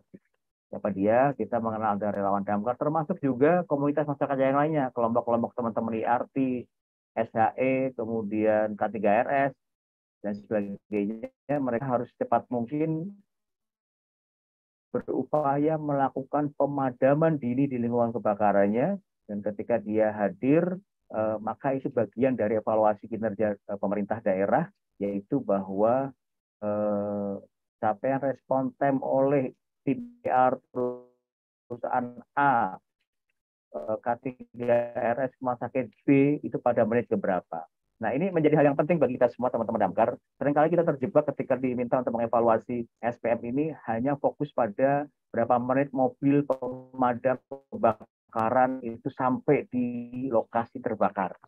Saya ingin memberikan contoh ketika uh, sebuah pabrik atau A ter, pabrik A terbakar, maka uh, mari kita coba analisa sebuah pabrik dengan karyawan sekian ribu, semestinya mereka disyaratkan dengan sebuah apa ya tim tanggap darurat IRT, SHE, SHO, namanya apa pun, tim tanggap darurat, kemudian K2G, TTD, dan seterusnya. Maka ketika jam 10 malam ada laporan kebakaran ke Dinas Damkar, nah Dinas Damkar mobilnya pasti akan sampai pada menit ke-20 misalkan. Tetapi tim IRT dari pabrik A tersebut langsung mengambil apar menuju objek terbakar pada menit kedua. Maka semestinya eh, sinergitas ini terbangun sehingga dapat saling melaporkan maka respon time-nya adalah bahwa dua eh, dua menit itu sudah sampai di objek terbakar oleh petugas IRT atau SHE dari industri lingkungan tersebut. Nah ini ini harus kita uh, mulai diawali dengan koordinasi komunikasi yang baik dengan teman-teman manufaktur industri gedung bangunan sehingga uh, mereka kita bina kita latih kita ajak kita berlatih bersama, kita bina bersama sehingga pemahaman terkait dengan evaluasi eh, respon time ini bukan tok semata ketika mobil pemadam kebakaran sampai ke lokasi. Tapi kita sudah banyak membina, mengedukasi mereka, sehingga ketika mereka bisa melakukan upaya penanggulangan dini kebakaran, maka ini bagian dari capaian respon time oleh mereka. Ini juga dievaluasi uh, untuk kita di damkar pemerintah. Baik, pertanyaan berikutnya ada siapa sih sebenarnya warga masyarakat yang dibina dilatih? Nah, saya ingin mengatakan teman-teman, eh, memang sudah keluar keputusan Mendagri nomor 364 tentang relawan pemadam kebakaran, tetapi itu basisnya adalah warga masyarakat. Basisnya adalah lingkungan desa atau kewilayahan.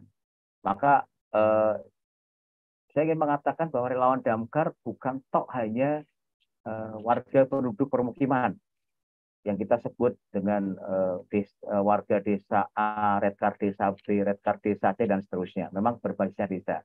Tapi jangan salah, ketika di area kabupaten kita banyak kompleks perumahan tertata, klaster-klaster, maka mereka biasanya ada pengelola kompleks atau mungkin tim sekuritinya dan sebagainya. Nah, dan juga pada industri pabrik, eh, Kementerian Tenaga Kerja sangat mengatur ketat tentang unit penanggulangan kebakaran yang kita tahu eh, ada Eh, petugas peran kebakaran, regu penanggulangan kebakaran, ada koordinator penanggulangan kebakaran dan juga ahli kebakaran kelas D CPA. Ketika pabrik atau industri tersebut sudah terbentuk uh, struktur organisasi IRT, SHE, K3 dan seterusnya, maka mereka sejatinya adalah juga bagian dari eh, petugas-petugas yang bisa kita bina dan kita bisa uh, menjadi bagian dari relawan pada kebakaran berbasis sektor industri.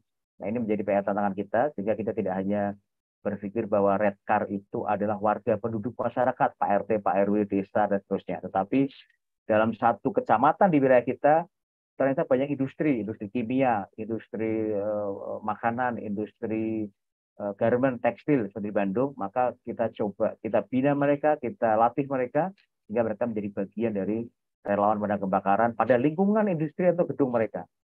Lalu yang kedua, yang berikutnya Eh, bagaimana ketika kita lihat melihat lingkungan bangunan atau gedung. Kita ada M4KG, ada K2, G, rumah sakit K3RS, dan seterusnya. Maka ini adalah masyarakat-masyarakat yang harus dibina, harus di, eh, dilatih, kemudian diajak untuk kemudian menyadari pentingnya aspek pencegahan dan penanggulangan dini kebakaran. Maka pada prinsipnya adalah cepat mungkin sebelum flyover. Jadi kalau damkar pemerintah itu bisa di, uh, diberikan 15 menit, lalu bagaimana dengan mereka? Saya kira mereka bisa mungkin 15 menit, 10 menit atau 5 menit. Itu sangat tergantung bagaimana risk assessment yang ada di lingkungan industrinya. Ada jadi kalau kita teman-teman sekalian kalau kita melihat di sebuah pabrik itu luar biasa kajian asesmennya uh, fire dan risk assessmentnya itu bisa per produksi masing-masing. Produksi A begini, tahap yang pertama dia berisiko ada menggunakan steam, panas termal tertentu, kemudian berlanjut pada next production, dia menghasilkan debu tadi yang dibahas demikian rupa, maka semestinya kawan-kawan IRT ini luar biasa uh, dalam membuat sebuah kajian uh, uh, step by step dari produksi yang dihasilkan untuk menghasilkan produk dari perusahaan tersebut. Nah, ini teman-teman sekalian, Bapak Ibu sekalian, serta malam ini ini yang semestinya kita bangun bersama, yaitu dalam eh, bersama-sama untuk mengamankan bangunan gedung yang aman kebakaran. Baik, saya kira saya sedikit mengacu saja, nanti bisa dicari di Permen PU nomor 2029, apa itu manajemen eh, pencegahan kebakaran dan juga bangunan kebakaran. Sedikit saya mengambil beberapa hal. Yang pertama kaitannya pengendalian risiko kebakaran, dari mulai Eh, desain sistem proteksi kebakaran, edukasi publik, penegakan hukum atau SOP, kemudian mitigasinya, pendataan fire risk assessment-nya, kemudian menyusun pre-fire planning-nya. Nah, ini menjadi tugas-tugas eh, kawan-kawan petugas damkar tanda kutip yang ada di eh, bangunan gedung juga yang juga menjadi bagian dari eh, petugas yang itu sendiri. Lalu ketika bicara manajemen penanggulangan kebakaran, saya masih mengambil dari Permen PU tersebut disampaikan fungsinya bagaimana menerapkan pre-fire plan tadi. Jadi setelah direncanakan di aspek pencegahannya, maka bagaimana ketika menanggulangi kebakaran penerapannya. Lalu kemudian eh, bagaimana ketika menjalankan seluruh fungsi-fungsi pendukung yang diperlukan. Ini kalau kita bicara skup eh, pemerintah kabupaten kota, maka bagaimana kita mengerahkan eh, SKPD lainnya dalam mensupport sebuah penanganan kebakaran atau penanggulangan kebakaran. Termasuk juga di industri gedung yang lain, maka utilisasi-utilisasi yang lain juga dikerahkan untuk mensupport upaya penanggulangan kebakaran tersebut. Maka kemudian prinsip pencegahan kebakaran saya bisa menggambarkan dari menjadi tiga sub ya. Yang pertama kaitannya dengan program engineering ya, lalu dengan education-nya, yang ketiga dengan penegakan sistemnya. Nah, program engineering itu apa? Bagaimana perencanaan bangunan yang aman dari kebakaran? Perencanaannya. Ini kan menjadi masalah kita bersama nih teman-teman sekalian. Terkadang dinas damkar tanpa terlaporkan, tanpa diketahui, maka uh, sebuah gedung tiba-tiba berdiri banyak uh, yang tidak melibatkan uh, institusi pemadam kebakaran di kabupaten kota kita. Bagaimana program engineeringnya? Bagaimana mereka membangun gedung 10 lantai? Bagaimana uh, desain sistem proteksi kebakarannya yang akan terinstal dan terpasang di gedung tersebut? Nah, ini masih dalam konteks uh, prinsip pencegahan. Lalu yang kedua, setelah dia merencanakan, lalu bagaimana program edukasinya? Bangunan sudah uh, berdiri, program peningkatan kesadaran terhadap ancaman dan bahaya kebakaran. Ini juga menjadi bagian tugas kita bersama bagi petugas damkar Peminda, maka ini menjadi bagian edukasi kita. Teman-teman IRT juga eh, aspek pencegahannya, teman-teman SAE, maka bagaimana teman-teman create sebuah program peningkatan kesadaran terhadap ancaman kebakaran. Sosialisasi kepada pegawai, pelatihan-pelatihan kepada seluruh karyawan dan seterusnya. Lalu bagaimana program penegakan sistemnya? Uh, kalau di kita kita menyusun uh, apa ya SOP, Perda dan sebagainya, maka teman-teman di SAE di gedung uh, manufaktur industri maka semestinya memastikan bahwa semua sistem pencegahan kebakaran sudah comply sesuai dengan regulasi yang ada. Regulasi cukup banyak, kira-kira yang undang-undang, peraturan menteri, uh, Perda, Perbuk, peraturan gubernur, perwal dan seterusnya yang disiapkan oleh pemerintah, tetapi pada lingkup bangunan maka teman-teman uh, diminta untuk membuat semacam sebuah prosedur atau standar operasi SOP sendiri. Nah, ini beberapa contoh. Nanti kita akan melihat bagaimana sinergitas. Dinas damkar juga melakukan inspection. Tadi PR besar yang disampaikan oleh Pak Adrianus juga bagaimana teman-teman pencegahan. Apakah sejauh itu juga sampai wow kita banyak sekali ilmu yang harus masih kita gali. Kita bicara das kita bicara debu. Kita bicara berapa toleransi grounding dan bonding. Kita harus tahu seberapa eh, apa tadi eh, yang diizinkan toleransi yang untuk berapa ohm dari grounding itu sendiri luar biasa. Nah ini eh, kegiatan kita saya kira juga semestinya sama ketika pada aspek eh, lingkup bangunan gedung atau industri.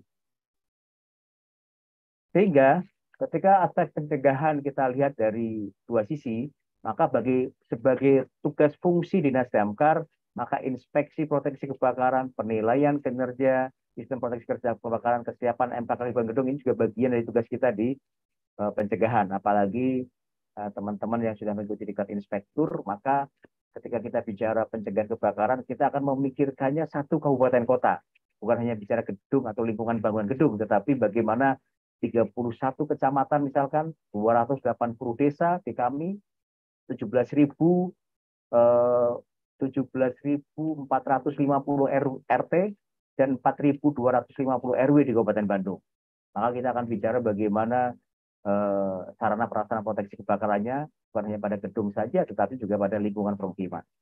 Lalu kemudian pengkajian gambar perencanaan sistem proteksi kebakaran pada bangunan gedung. Ketika sebuah bangunan gedung akan terbangun, kemudian eh, mengkonsultasikan kepada dinas damkar bagaimana kita melakukan kajian gambarnya sesuai dengan regulasi standar perda kita, perbu kita, SNI, permen dan lain-lain.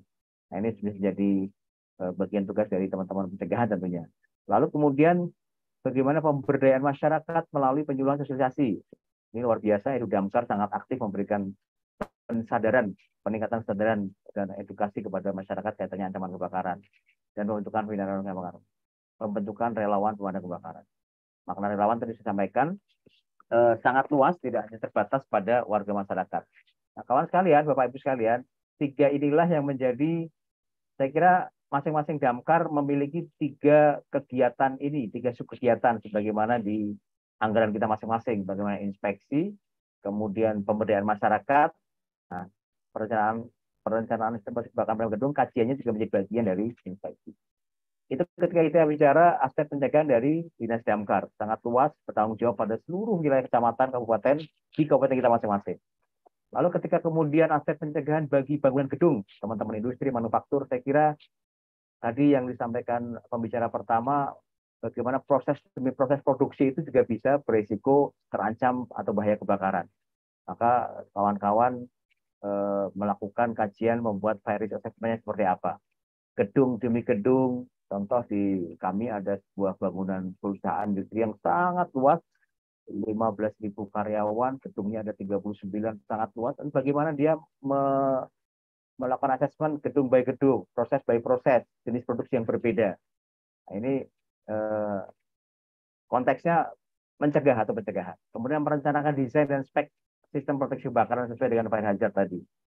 Nah, ini kan kita sering temui bersama, mohon maaf Bapak Ibu sekalian, ketika bicara spesifikasi teknis sistem proteksi kebakaran, nah ini masih belum menjadi sebuah syarat dan mutu yang kita eh, menjadikan acuan. Seringkali hanya sekedar ada tetapi tidak kualitas tidak kualitas baik. Seperti tadi sempat sampaikan Pak Adrianus. Apakah iya? Apar yang kita siapkan untuk tadi contoh memadamkan sebuah debu pada forklift kemudian terjadi reignition. Apakah iya sebagai contoh sederhana apar itu sudah sesuai kualitasnya atau belum atau hanya sekedar ada saja nah, ini bagaimana merencanakan dan mendesain spek dan spek teknisnya lalu membuat program edukasi kampanye, campaign misalkan fire safety campaign um, zero of fire tahun ini. Bagaimana mendidik, melatih seluruh karyawan pegawai di industri Anda, di manufaktur Anda. Ini semua orang harus teredukasi tentang bahaya ancaman kebakaran. Lalu sudahkah kita menyusun SOP uh, pre-fire planning darurat kebakaran? Harus bagaimana ini? Kalau tidak ada SOP-nya tentunya uh, semua petugas-petugas yang sudah terlatih kelas D versinya teman-teman industri itu juga tidak bisa menggerakkan memobilisasi karyawan yang lain ketika in case of fire terjadi kebakaran. Lalu melakukan drill dan latihan simulasi. Sebenarnya manusianya kita latih, kita bersama-sama. Nah ini eh, yang membedakan adalah maka teman-teman ini membuat satu dua tiga empat lima ini pada lingkup lingkungan industri bangun gedung Bapak Ibu sekalian. Tapi Damkar akan melihat secara makro Dinas Damkar melihat secara makro bahwa bagaimana kabupaten kota ini kita melihat aspek pencegahannya. Apakah kecamatan A, desa A, kelurahan B itu sudah uh, kita pikirkan bagaimana sarana prasarana kebakarannya. Uh, pos damkarnya, mobil damkarnya, pos sektor damkarnya, hidrannya, grontengnya dan seterusnya. Nah, uh, Kemudian ketika kita bicara penanggulangan kebakaran, saya kira kita memahami ada pre-fire, kemudian ada in of fire, dan juga post-fire. Saat sebelum kebakaran, saat kebakaran, dan juga uh, pasca kebakaran. Nah, apa saja itu kira-kira? Sebelum kebakaran, maka setelah tadi kita merencanakan sistem proteksi kebakaran, baik pada aspek uh, dinas damkar pemerintah, lingkupnya lingkup pemilihan kabupaten kota, ataupun pada Eh, bangunan gedung, maka bagaimana kesiapan atau kesiapsiagaan kinerja sistem proteksi kebakaran itu yang sudah terencana tadi, yang sudah terpasang itu harus terjaga kinerjanya. Ini menjadi tugas bersama juga, tidak hanya dilakukan oleh uh, inspeksi oleh tim damkar saja, karena nanti kita akan sampaikan uh, bagaimana sumber daya juga yang ada di uh, pemerintah. Bagaimana teman-teman melakukan self audit sistem proteksi kebakaran pasif aktif kemudian pengendalian keadaan kebakaran dan pelatihannya. Ini eh, sudah direncanakan tadi di aspek pencegahannya. Lalu kemudian ketika sudah dipasang, bagaimana kita eh, pre-fire-nya ketika sebelum terjadi kebakaran. Lalu ketika saat terjadi kebakaran, nah ini kan sangat mengandalkan pada deteksi, detection dan extinguishing-nya, pemadamannya. Bagaimana mendeteksi, memadamkan, melokalisir, mengevakuasi, dan mengamankan. Nah, ini tugas pada kondisi darurat ketika kawan-kawan Eh, di IRT, SHE, K3RS, dan teman-teman yang bergerak di unsur petugas kebakaran di bangunan gedung. Fungsi deteksi dan fungsi pemadaman. Nah, ketika uh, setelah kebakaran, maka tadi kalimat investigasi yang menjadi PR kita bersama yang sangat besar. Bagaimana uh, kita semakin tahu bahwa investigasi yang kita lakukan artinya sudah empiris dan ilmiah. Jujur, tidak seperti sekarang yang kadang uh, masih perlu pembuktian dengan uh, apa namanya laporan lanjutan investigasi itu. Bagaimana menganalisa penyebab kebakaran, kemudian memberikan rekomendasi baik aspek teknis, kira-kira ternyata kebakaran membesar karena sistem hidran tidak jalan. Ternyata kita nggak punya hidran, maka rekomendasinya menjadi bagian dari eh, eh, apa namanya perbaikan menyeluruh untuk eh, membangun bangunan kembali setelah terjadi kebakaran. Eh, Bapak Ibu sekalian, prinsipnya ketika kemudian kita mencegah penyalaan gagal, kemudian ketika api sudah timbul, ya pemadaman pada tahap ini, tetapi gagal juga, maka api akan tumbuh dan menyebar. Eh, flow dari sebuah api kebakaran kan diawali dengan api timbul, ternyata kita gagal melakukan pemadaman dini, api tumbuh dan membesar, ternyata kita juga gagal. Kita tidak mau mencegah api tumbuh besar. Sehingga terjadilah flashover. Nah, di sinilah kemudian eh, setelah flashover, pembakaran penuh, maka inilah kondisi bahaya. Nah, garis eh, warna merah ini menjadi kondisi bahaya. Sehingga sama-sama kita bicara, mari kita lakukan eh, pemadaman dini supaya api tidak tumbuh dan menyebar.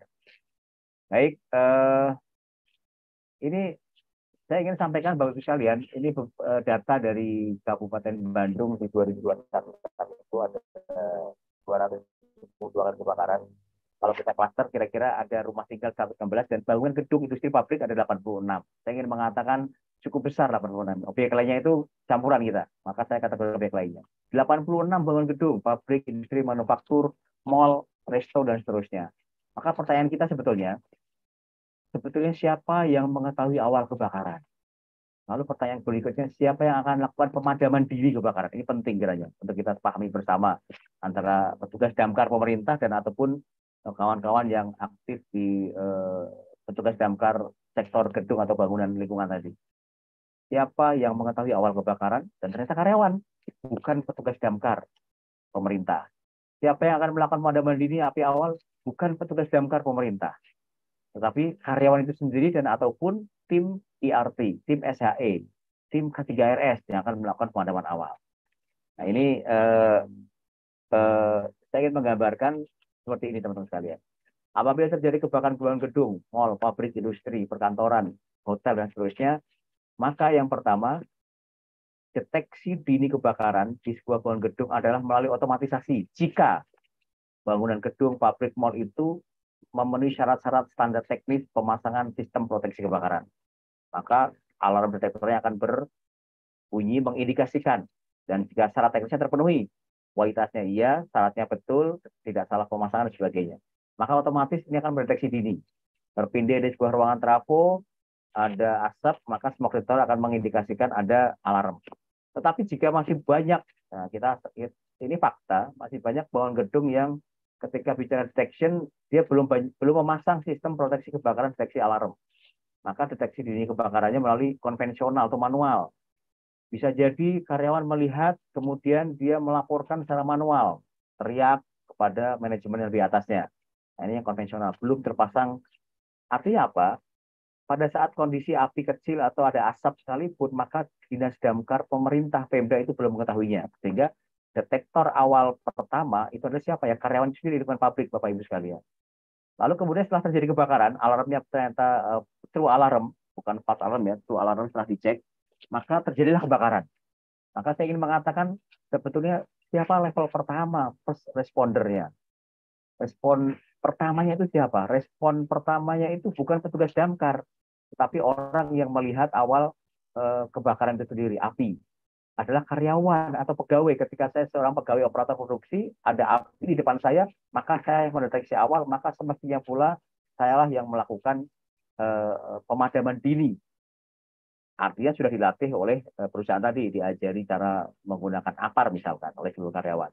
Tetapi ternyata uh, first responder, maka level keduanya siapa? Dia biasanya akan laporan ke tim IRT, tim SHE, tim K3RS, tim K2G, MKKG, dan seterusnya bahwa terjadi kebakaran di ruang produksi saya. Bukan lagi-lagi bukan petugas damkar. Kalaupun sudah industri ini sudah menelepon ke 112 atau 113-nya damkar, maka eh, damkar juga belum sampai di lokasi saat itu juga seketika.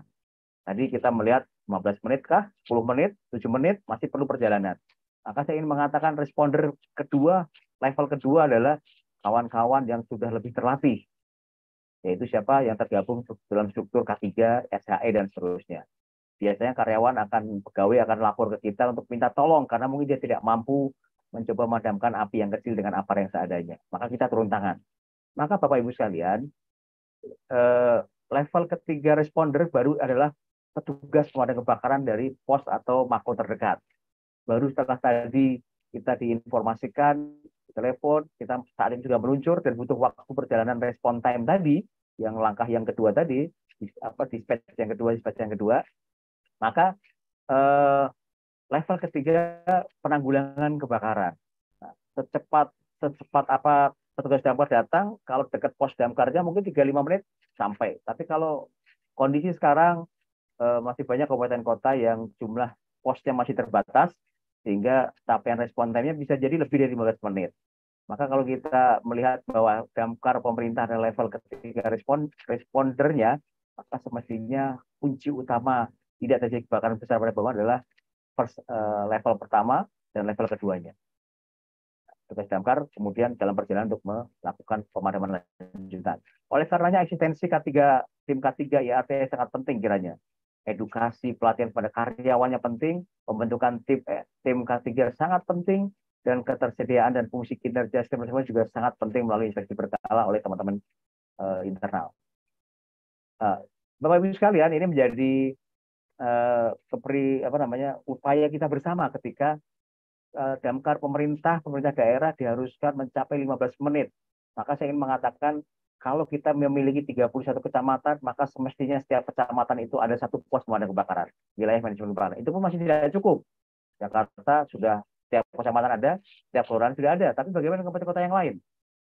Untuk membangun sebuah pos damkar, maka kira-kira efeknya, eh, kosnya adalah bagaimana membangun posnya, menyediakan mobil damkarnya, petugasnya harus berapa, APD-nya bagaimana sebagainya. Ini butuh berapa rupiah. Saya coba menghitung kasar, eh, pernah saya coba hitung sekitar 5 sampai 6 miliar untuk kita membangun sebuah menambah satu pos pada kebakaran di sektor kecamatan. Oke. Nah, um, saya kira ini juga menjadi penting teman-teman. Ini menjadi PR kita semua SKIK ya sistem ketahanan. Maaf eh, sistem komunikasi kebakaran.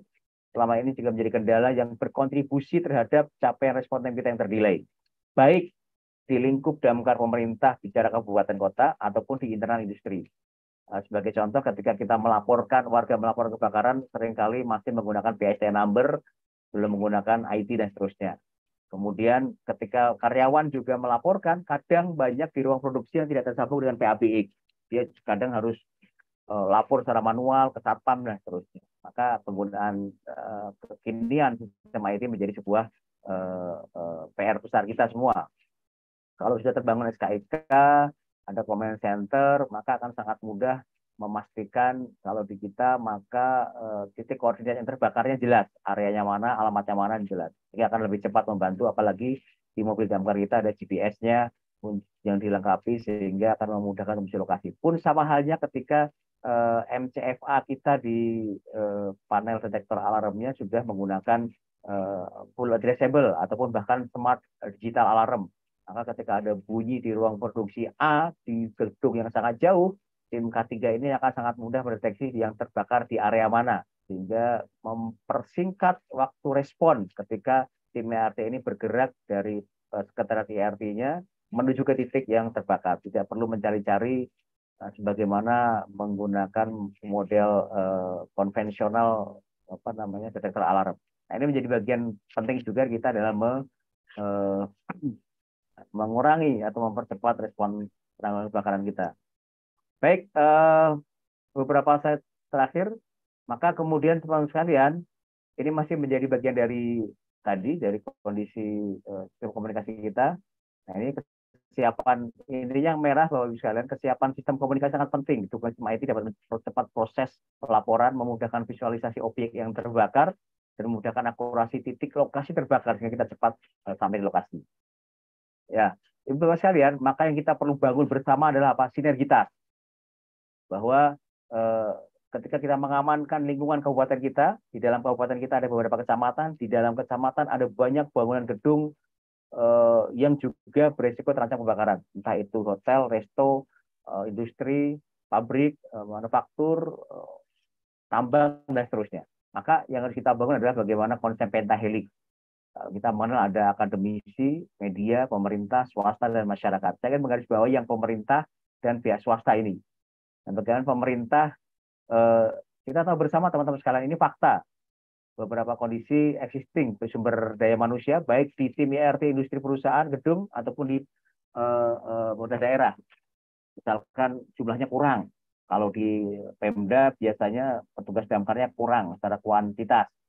Kemudian uh, di industri juga sering-seringnya adalah jabatan safety engineering safety manager itu adalah jabatan tambahan tugas tambahan hanya sedikit beberapa industri yang sudah menerapkan ada posisi uh, uh, fire safety engineer atau kemudian fire safety manager. Yang lainnya kebanyakan tambahan. Saya bekerja sebagai supervisor produksi, maka saya juga menjadi bagian dari anggota IRT. Saya juga dapat tugas tambahan. Kemudian keahliannya kita akui teman-teman IRT ini kadang jumlahnya masih kurang, kemudian keahliannya tidak terupgrade. Sama dengan kita ini menjadi uh, fakta sumber daya manusianya. Kemudian sarana prasarana sangat terbatas, dipengaruhi kemampuan keuangan daerah kalau untuk Pemda, termasuk juga keuangan dari uh, uh, industri gedung tersebut dalam melihat dan mensupport anggaran terhadap fire safety. Seringkali top manajemen melihat fire safety itu nomor yang kesekian. Toolnya menjadi nomor yang kesekian. Bangun hidran 1, sekian miliar dianggap mahal ada 1, sekian miliar itu tidak lebih dari sekian persennya seluruh aset yang ada, aset nyawa jiwa karyawannya, termasuk juga membangun plannya dan seterusnya. Kemudian lingkup tugas, nah multi pekerjaan untuk kita. Sama tadi sampaikan tugas damkar, eh, pancadharma damkar, ada lima. Sama halnya ketika teman-teman di ERT.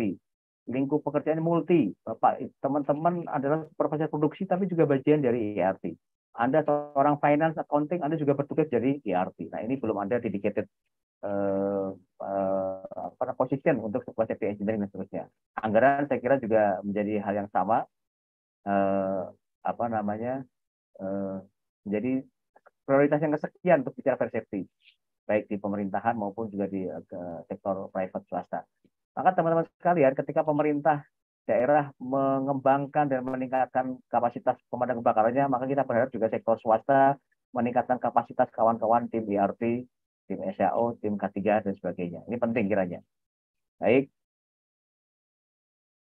Nah, teman sekalian, langkah dan program, maka saya ingin mengatakan goal kita kan sama sebetulnya. Terciptanya bangunan gedung yang aman kebakaran. Bangunan gedung ada di mana? Ada di lingkup kecamatan kita. Kecamatan itu ada lingkup kabupaten kita. Maka ketika bangunan pabrik, gedung, mall, hotel itu juga aman kebakaran, maka semestinya juga terciptanya lingkungan kabupaten kota yang aman kebakaran. Goal kita sama. Goal kita sama hanya peran kita yang berbeda. Lingkup peran kita berbeda. Kita bicara kabupaten kota, maka teman-teman IRT punya tanggung jawab yang luar biasa sama terhadap fire safety pada lingkup bangunan gedungnya. Maka pencegahan dan penanggulangan kebakaran adalah tanggung jawab kita semua. Tidak akan mungkin tercipta sebuah lingkungan kabupaten kota yang aman kebakaran jika di dalam kabupaten kota tersebut banyak bangunan gedung sektor um, hotel, resto, manufaktur, industri, kimia, industri tekstil, garment, yang dia juga tidak aman kebakaran. Tidak siap tim ERT-nya, tidak siap sarana proteksi kebakarannya, tidak siap program pencegahan kebakarannya, dan tidak termanage dengan baik program penanggulangan kebakarannya. Yang kedua, Dinas Damkar Pemda membuat kajian RSPKP, Rencana Induk Sistem Penanggulangan Kebakaran dan Penyelamatan skala makro untuk seluruh kecamatannya.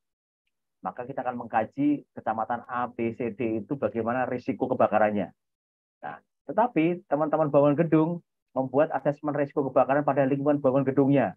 Proses by proses, gedung demi gedung, proses produksinya, plan demi plan, dan sebagainya. Ini uh, mikronya pada skup bangunan gedung.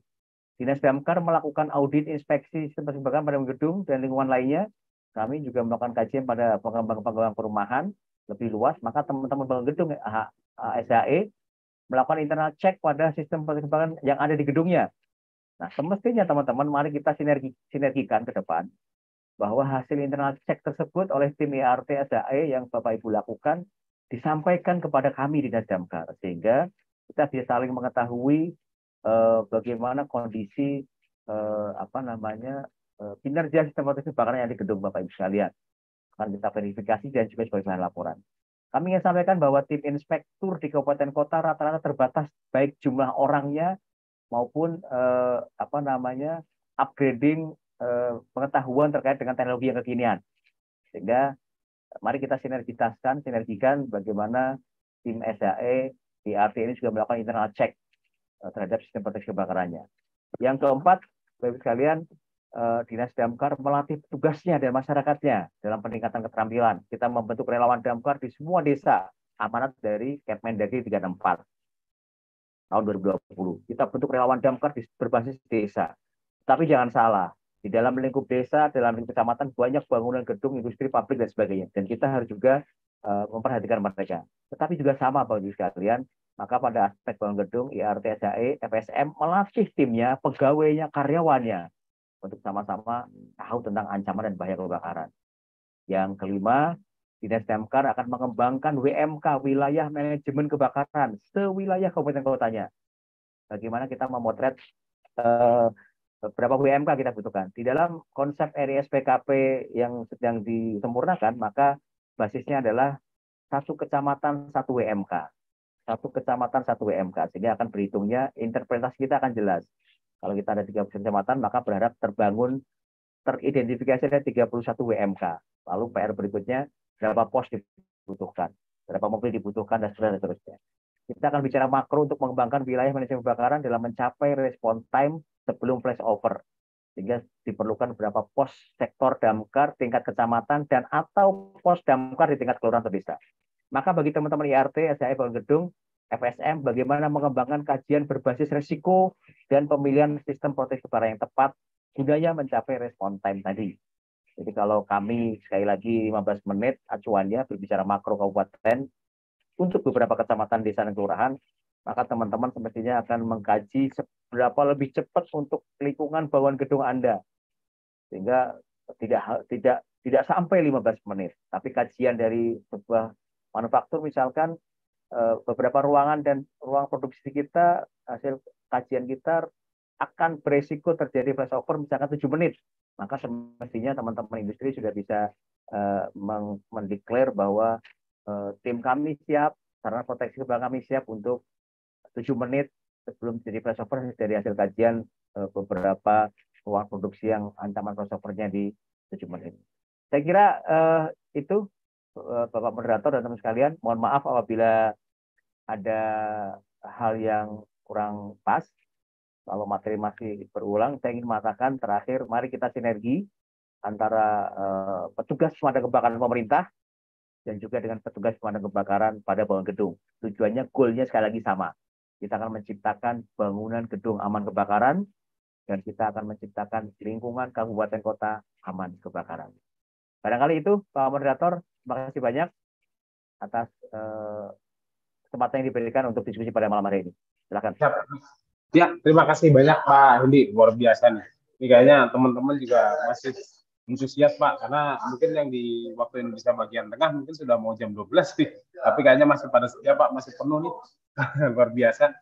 Penjelasannya juga cukup luar biasa rigid sebenarnya, dan ada beberapa pertanyaan yang sudah masuk Pak, uh, ada cukup lumayan banyak, tapi mungkin uh, hanya beberapa yang bisa saya tampilkan, karena kalau dibahas semuanya nanti yang waktu Indonesia bagian tengah, kasihan Pak, sampai jam satu nanti gitu kan. Izin uh, saya share screen untuk pertanyaan Pak Indi. Silakan, silakan. Ya, ini uh, pertama ini dari Muhammad Ridwan mengenai waktu perjalanan. Jika terdapat hambatan di jalan, apa yang perlu kita lakukan, Pak? Mungkin terkaitan dengan respon time tadi, Pak. Ya, baik. Kalau kita bicara respon time, memang uh, kita uh, kita ditutup cepat ya. Jadi pertanyaan apa? Jika ada hambatan di jalan, itu faktor X yang memang tidak bisa kita kendalikan, teman-teman sekalian. Jadi uh, saya ingin mengatakan ketika kita pasukan damkar kita di mana pun kita bertugas kabupaten kota begitu ada laporan kebakaran masuk uh, tidak lebih dari dua menit tim damkar langsung masuk mobil dengan segala kondisi langsung mempersiapkan alat sudah siap karena kan jadinya mobil damkar itu ketika di pako kan sudah bensin penuh air penuh tinggal berangkat saja. Maka ketika terdengar laporan uh, sirine berbunyi uh, petugas piket uh, command center melaporkan satu menit langsung berangkat. Nah, yang menjadi faktor adalah bagaimana kendala di jalan. Banyak terlalu sekali faktor kendala di jalan. Ketika kemudian eh, teman-teman sekalian satu kemacetan, kedua kesadaran masyarakat. Ya, saya mohon kepada para peserta yang di sini yang teman-teman masyarakat jika ada mobil damkar maka didahulukan undang-undang lalu lintas juga mendahulukan tentang mobil damkar. satu kemacetan lalu lintas, maka sangat bisa disiasati dengan bagaimana menggunakan eh, apa namanya teknologi ya IT ya. Saya tertarik dengan teman-teman Jakarta yang eh, saat itu menggun comment centernya memfasilitasi memberikan komando ketika jalan yang kita lalui macet, dia akan beralih ke jalan yang lain. Terpantau melalui GPS, terpantau melalui monitor. Dulu saya pernah ketemu dengan teman-teman ada onboard unit ya, ada semacam eh, eh, apa namanya tablet yang ada di mobil bagaimana benar-benar bisa membantu memandu ketika jalanan A macet, jalanan B macet, maka diarahkan ke mana. Itu yang pertama. Yang kedua, eh, melalui sistem IT pun juga akan jelas pelaporan warga itu akan jelas koordinatnya. Nah, ini masalah besar buat kita semua teman-teman sekalian. Ketika kemudian eh, apa namanya insting kita menuju lokasi kebakaran hanya melihat dari asap yang besar dan api yang besar. Nah, semestinya pada zaman sekarang kita mulai berpikir, kita semua mulai berpikir bagaimana menggunakan sistem IT. Saya sedikit share ketika 2008 2007 uh, saya sempat ke uh, Adelaide Adelaide Fire Services di Australia 2007 bayangin 2007 kita sedang duduk makan santai di sebuah restoran di perempatan jalan maka 20 meter dari saya datang mobil pemadam kebakaran Scania dua langsung datang maka insting kita sebagai petugas damkar saat itu adalah di mana apinya di mana asapnya fisiklinya begitu saya tidak melihat asap, tidak melihat api. Maka kemudian saya datangi mereka, saya kenalkan I'm Firefighter from Indonesia. Saya ikuti mereka, saya dipersilakan untuk mengikuti mereka, turun dari mobil, masuk ke sebuah blok rumah yang jaraknya tidak lebih dari 15 meter, masuk ke gang blok rumah. Dan saat ini juga saya tidak melihat ada api, tidak melihat asap. Tahun 2007. Maka eh, saya ikuti mereka masuk ke sebuah kitchennya rumah tinggal penduduk. Ternyata di situ baru ada eh, eh, warga tersebut memasak sebuah ma masakan, kemudian ada asap mulai angus gitu, belum ada api, kemudian terpindai oleh uh, smoke detector yang dia pasang di kitchennya. Langsung dia terkoneksi ke uh, uh, command centernya pemadam kebakaran. Jadi tahun 2007 sudah ada teknologi seperti itu di sana. Sekarang 2023 kita baru beberapa kabupaten kota yang akan mengkreat seperti itu dan sudah. Tapi masih banyak yang belum. Kita masih melihat ketika hambatan di jalan adalah mencari tahu di mana alamatnya. Nah ini saya kira eh, faktor uncontrolled yang ada di jalan raya sepertinya bisa disiasati dengan eh, kemacetan dan sebagainya dengan teknologi, dengan sistem IT juga sebagainya. Tetapi ketika bicara kesadaran masyarakat, maka tugas kita semua mengedukasi masyarakat apa semestinya yang harus dilakukan ketika mobil pada kebakaran lewat. Mungkin itu barangkali, Pak Suratul. Ya, Pak Edi, terima kasih banyak luar biasa penjelasannya. Jadi uh, memang banyak faktor lain yang uh, menjadi kendala untuk pemadam kebakaran, tapi paling tidak pemadam kebakarannya yang harus lebih siap gitu ya Pak. Ya, uh, pertanyaan berikutnya Pak uh, ini dari Pak Hasnali Maulana, Satpol PP Damkar Indramayu. Nah, ini menyikapi terkait dengan tadi capaian SPM Pak Edi. Mungkin minimnya anggota damkar kalau di wilayah dan luasnya apa areanya tapi terbatas anggaran daerah menjadi terkendala di setiap daerah. Nah, bagaimana cara mencapai terkait dengan pelayanan yang apa yang harus dilakukan? Oke, baik terima kasih. Ini kendala kita semua, hampir semuanya sama. Uh, kembali kepada uh, eh, UUD, ujung-ujungnya duit. Tetapi ketika kemudian kita uh, sebagai petugas damkar ada beberapa trik yang bisa kita lakukan. Saya tertarik dengan teman-teman uh, teman-teman daerah yang ketika luas wilayahnya luas, kemudian kesulitan anggaran, supporting anggaran untuk membangun pos damkar misalkan.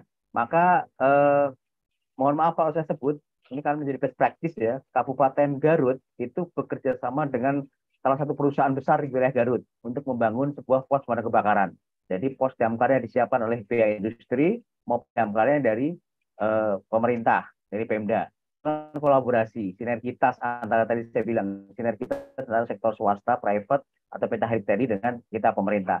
Yang kedua, eh, ada juga yang mengupayakan, mohon maaf ini lepas dari kontra dan pro, pro dan kontra kaitan dengan hibah mobil pemadam kebakaran. Kabupaten kota sudah mengajukan banyak hibah ke Korea Selatan, ke Jepang, dan sudah banyak yang mendapatkannya. Kabupaten Bandung, eh, kami juga eh, pernah mengajukan hibah ke Jepang dan mendapatkan tiga atau empat mobil pemadam kebakaran dari Jepang saat itu di 2018-2019. Saat yang sama Bapak Ibu sekalian, karena kendala anggaran, eh, mungkin kita tidak sekaya teman-teman daerah yang lain yang PID yang besar, katakanlah. Maka kita juga berkolaborasi, kami membangun dua pos damkar bekerja sama dengan komplek perumahan. Jadi komplek perumahan itu menyediakan tanahnya, kami membangun bangunannya. Nah itu sudah terjadi. Kemudian eh, tanah desa kita bangun posnya dan sebagainya, termasuk eh, mobil damparnya dari hibah. Dan saat ini kita sedang memproses dua hal. Yang pertama berkolaborasi dengan sektor industri, industri besar di Kabupaten Bandung, sangat besar. Kemudian kita minta disediakan pos damkarnya kita akan siapkan. Yang terakhir eh, mohon maaf kalau saya sebut, eh, ada komplek Agung Podomoro yang besar di Kabupaten Bandung. Tahun lebih dua tahun yang lalu kita diskusi dengan ownernya, panjang lebar kita cerita, alhamdulillah kita dikasih tanah eh, sekian ratus meter persegi di kawasan Agung Podomoro untuk dibangun posnya dan kita akan tempatkan bidang pada. Saya kira itu sebagai eh, solusi-solusi sarana prasarana yang kita eh, masih kurang, mungkin CSR-CSR yang lain. Terkait dengan petugas damkar, yes, ini menjadi kendala petugas damkar, maka relawan pemadam kebakaran jadi salah satu solusi. Redcar desa, eh, Redcar industri, saya ingin mengatakan bahwa industri tim IRT SHE nggak ada salahnya kita ajari mereka, kita latih mereka untuk kita kemudian juga masukkan dalam eh, relawan pada kebakaran yang berbasis pada industri. Sehingga masyarakat yang kita bina dalam kapasitas Redcar itu semakin heterogen. Ada masyarakat penduduk, ada masyarakat industri atau gedung. In case terjadi kebakaran pada desa A, maka hitungan respon time-nya bukan mobil yang nyampe ke desa itu, tetapi red car desa A tersebut sudah hadir di lokasi dengan upaya pemadaman dengan alat yang mereka punya. Itu respon time kita hitung. In case ada pabrik B yang terbakar, bukan damkar hadir di pabrik B, tetapi kemudian bagaimana tim ERT pabrik B yang sudah kita daftarkan menjadi red tadi hadir satu menit langsung ambil apar. Nah, saya kira itu beberapa uh, hal yang bisa kita kembangkan dengan dengan kondisi keterbatasan sumber daya yang ada di kabupaten kota kita masing-masing. Demikian barangkali. Ah, iya. Oh, udah luar biasa Pak Edi. Ini mungkin karena keterbatasan waktu Pak Edi, jadi pertanyaan sebelum masih ada beberapa, tapi mungkin saya batasi cukup satu dulu Pak Edi ya. Oh, baik. Waktu nanti mungkin di sesi lain dan sesi berikutnya kita coba bahas lagi terkait pertanyaan-pertanyaan dan kita kumpul lagi terkait materinya. Ini izin terakhir pertanyaan dari eh, Bapak Bayu Pamungkas, Rumah Sakit Atma Jaya. Selamat malam Pak, mohon izin apakah rumah sakit terkait sarana penyelamatan jiwa itu wajib ada RAM?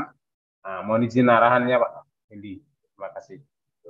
Ya, baik terima kasih luar biasa Pak. Uh, yang sering kita temukan di lapangan adalah banyak sekali rumah sakit rumah sakit ini. Saya lupa Permenkes nomor 64 tahun 2016 kalau salah. Ada peraturan Menteri Kesehatan nomor 64 kalau salah tentang sarana proteksi kebakaran persyaratan proteksi kebakaran pada bangunan rumah sakit. Saya lupa nomornya tahun 2016. Uh, kita baca-baca, kita buka-buka, dia mirip sama mengadopsi, hampir mengadopsi pada Permen PU nomor 26 2008. Jadi syarat sebuah rumah sakit itu ada uh, sistem proteksi aktif, pasif dan sebagainya. Uh, RAM itu menjadi bagian penting untuk sarana penyelamatan jiwa. RAM menjadi penting.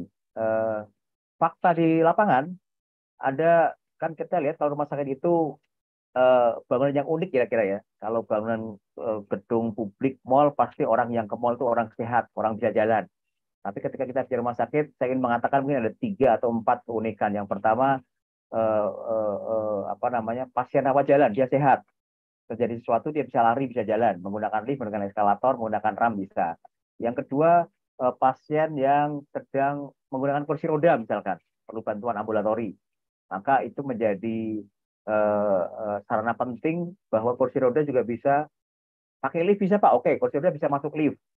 Lalu kemudian yang pakai menggunakan apa itu? Uh, bed ya yang di kamar-kamar pakai ranjang apa nama ranjang begitu. Ketika dia tidak bisa diungsikan dengan digendong dan sebagainya maka apakah lift kita yang cukup lebar untuk mengevakuasi ketika terjadi kebakaran pada rumah sakit? Orang yang sedang pasien yang sedang tertidur di sebuah ranjang. Maka biasanya dievakuasikan bersama ranjangnya maka diperlukan uh, RAM itu sendiri. Nah, yang berikutnya pasien yang operasi.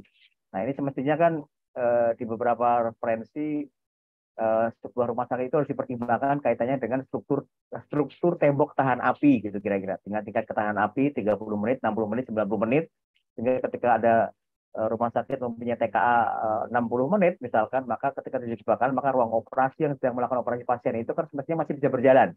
Sehingga bukan kemudian ketika ada kebakaran semuanya bisa lari tapi pasien juga ditinggalkan. Nah, ini juga resiko sehingga uh, penggunaan proteksi pasif dengan struktur tahan api juga semestinya mulai direncanakan eh, oleh bangun rumah sakit. Kembali ke RAM, uh, ini menjadi saya lupa di pasal berapa itu nanti coba kita cek di Permenkesnya Pak. Nanti apakah RAM itu eh, apa namanya sesuatu yang sangat penting untuk sarana penyelamatan jiwa itu bagi vertikal rumah sakit yang vertikal ya, rumah sakit yang vertikal.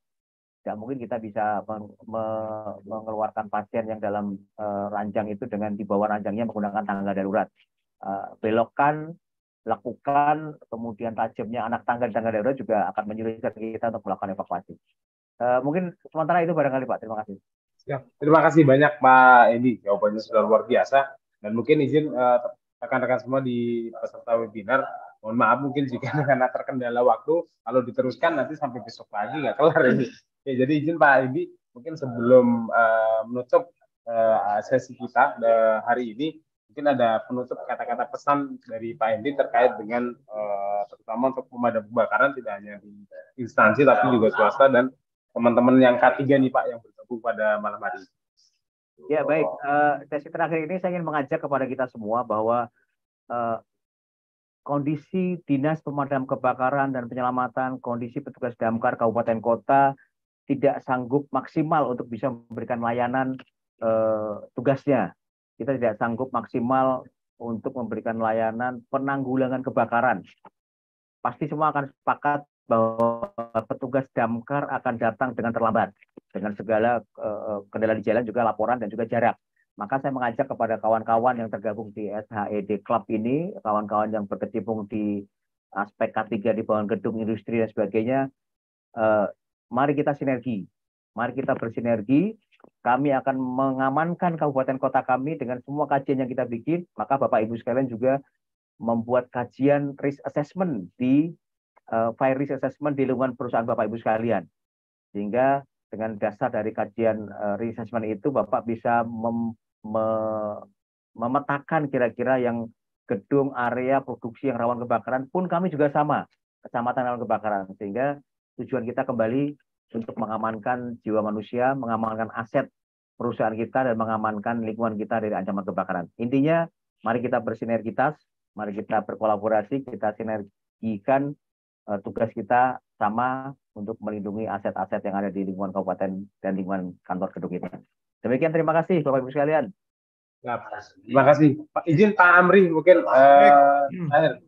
Luar biasa Pak Endi, terima kasih banyak Pak Endi sudah meluangkan waktunya. Saya tahu Pak Endi beberapa hari ini sibuk ya, tapi beliau masih mau berbagi teman-teman. Terima kasih banyak. Kami eh, memberikan apresiasi kepada Pak Endi ya selaku pembicara pada hari ini. Eh, terima kasih banyak Pak Endi. Saya lihat di apa namanya masukan saran-saran dari teman-teman sangat luar biasa acara hari ini pembicaranya juga memberikan pemahaman ilmu yang baru yang bisa berguna bagi teman-teman semuanya. Kemudian Pak Edi, terima kasih Pak Edi ya sudah Baik, terima kasih, terima sebagai kasih. moderator dan MC luar biasa sampai malam hari ini. Hari ini yang mengisi daftar hadir itu ada 1000 sebentar. 1238 Pak Hendi. Jadi hari ini yang banyak yang paling banyak. Baik teman-teman semua terima kasih. Baik Pak Edi, saya kembalikan. Siap, terima kasih Pak Amri eh, dan Pak Edi dan Pak Dianus ya. Pak Edi, salam dari Pak Marwanto. Ini Pak Marwanto, ownernya Edu Damkar malah nggak bisa masuk Zoom karena memang sudah penuh ternyata. Jadi penyelenggaranya sendiri malah nggak kebagian tempat gitu kan. Nggak apa-apa, tapi alhamdulillah beliau monitor lewat YouTube dan ternyata di YouTube sendiri eh, antusias teman-teman untuk mengikuti kegiatan malam hari ini juga, juga cukup luar biasa. Dan mudah-mudahan ke depannya eh, SED Club ini juga bisa terus memberikan wawasan dan materi serta eh, wawasan-wawasan lainnya bagi teman-teman kita pemerhati kita di K3 dan pemadam kebakaran serta masyarakat umum lainnya. Dan Baik, izin saya ingin memberikan satu satu hal lagi. Saya ingin ucapkan terima kasih yang luar biasa bagi kawan-kawan Edu Damkar. Ini keren banget. Ini Keren. dunia digital sekarang dengan Edu Damkar yang luar biasa dikemas sedemikian rupa, berkolaborasi dengan semua pihak sehingga edukasi kita, sosialisasi kita lebih banyak diterima bukan hanya untuk internal Damkar ya teman-teman. Ini keren. Saya acungi jempol untuk Mas Parantau, Mas Edi dan tim semuanya keren. Mantap, Mas Armanto, Pak Edi dan tim. Terima kasih banyak Pak Pak Edi. Terima kasih sudah bekerja sama malam ini. Acaranya sukses, 1.400 orang ya yang sudah mengikuti acara ini. Ya. Terima kasih banyak sekali lagi Pak Adrianus, Pak Amri, Adrianus, terima kasih. Pak Hendi dan Pak Marwanto mungkin yang melalui YouTube. Terima kasih banyak eh, untuk kegiatan pada malam hari ini. Mudah-mudahan ke depannya kita bisa bergabung lagi, kita bisa laksanakan lagi kegiatan-kegiatan lainnya yang memang eh, menambah wawasan bagi petugas damkar dan juga masyarakat umum dan juga pemerhati-pemerhati K3 yang memang di luar sana cukup luar biasa pengen menambah hasanah ilmunya dan hasanah uh, wawasannya dan mudah-mudahan sekali lagi semua ini bermanfaat bagi kita semua dan mungkin uh, dengan mengucap alhamdulillah kita tutup acara pada hari ini dan mudah-mudahan kita bisa bertemu lagi di acara-acara berikutnya dan di kegiatan berikutnya yang lebih bermanfaat lagi dan dengan mengucap alhamdulillah saya akhiri uh, kegiatan kita malam hari ini uh, bila taufik walidayah wassalamualaikum warahmatullahi wabarakatuh Waalaikumsalam warahmatullahi wabarakatuh. Luar biasa. Terima kasih teman-teman semuanya. Selamat tidur. Adrianus, Pak. Adrianus, terima kasih.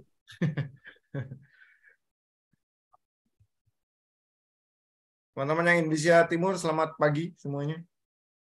Ya, udah lewat lagi. Ya, terima kasih mohon izin Pak Andri dan saja mungkin untuk Zoom saya end dan untuk absensi juga mungkin sudah ditutup ya Pak.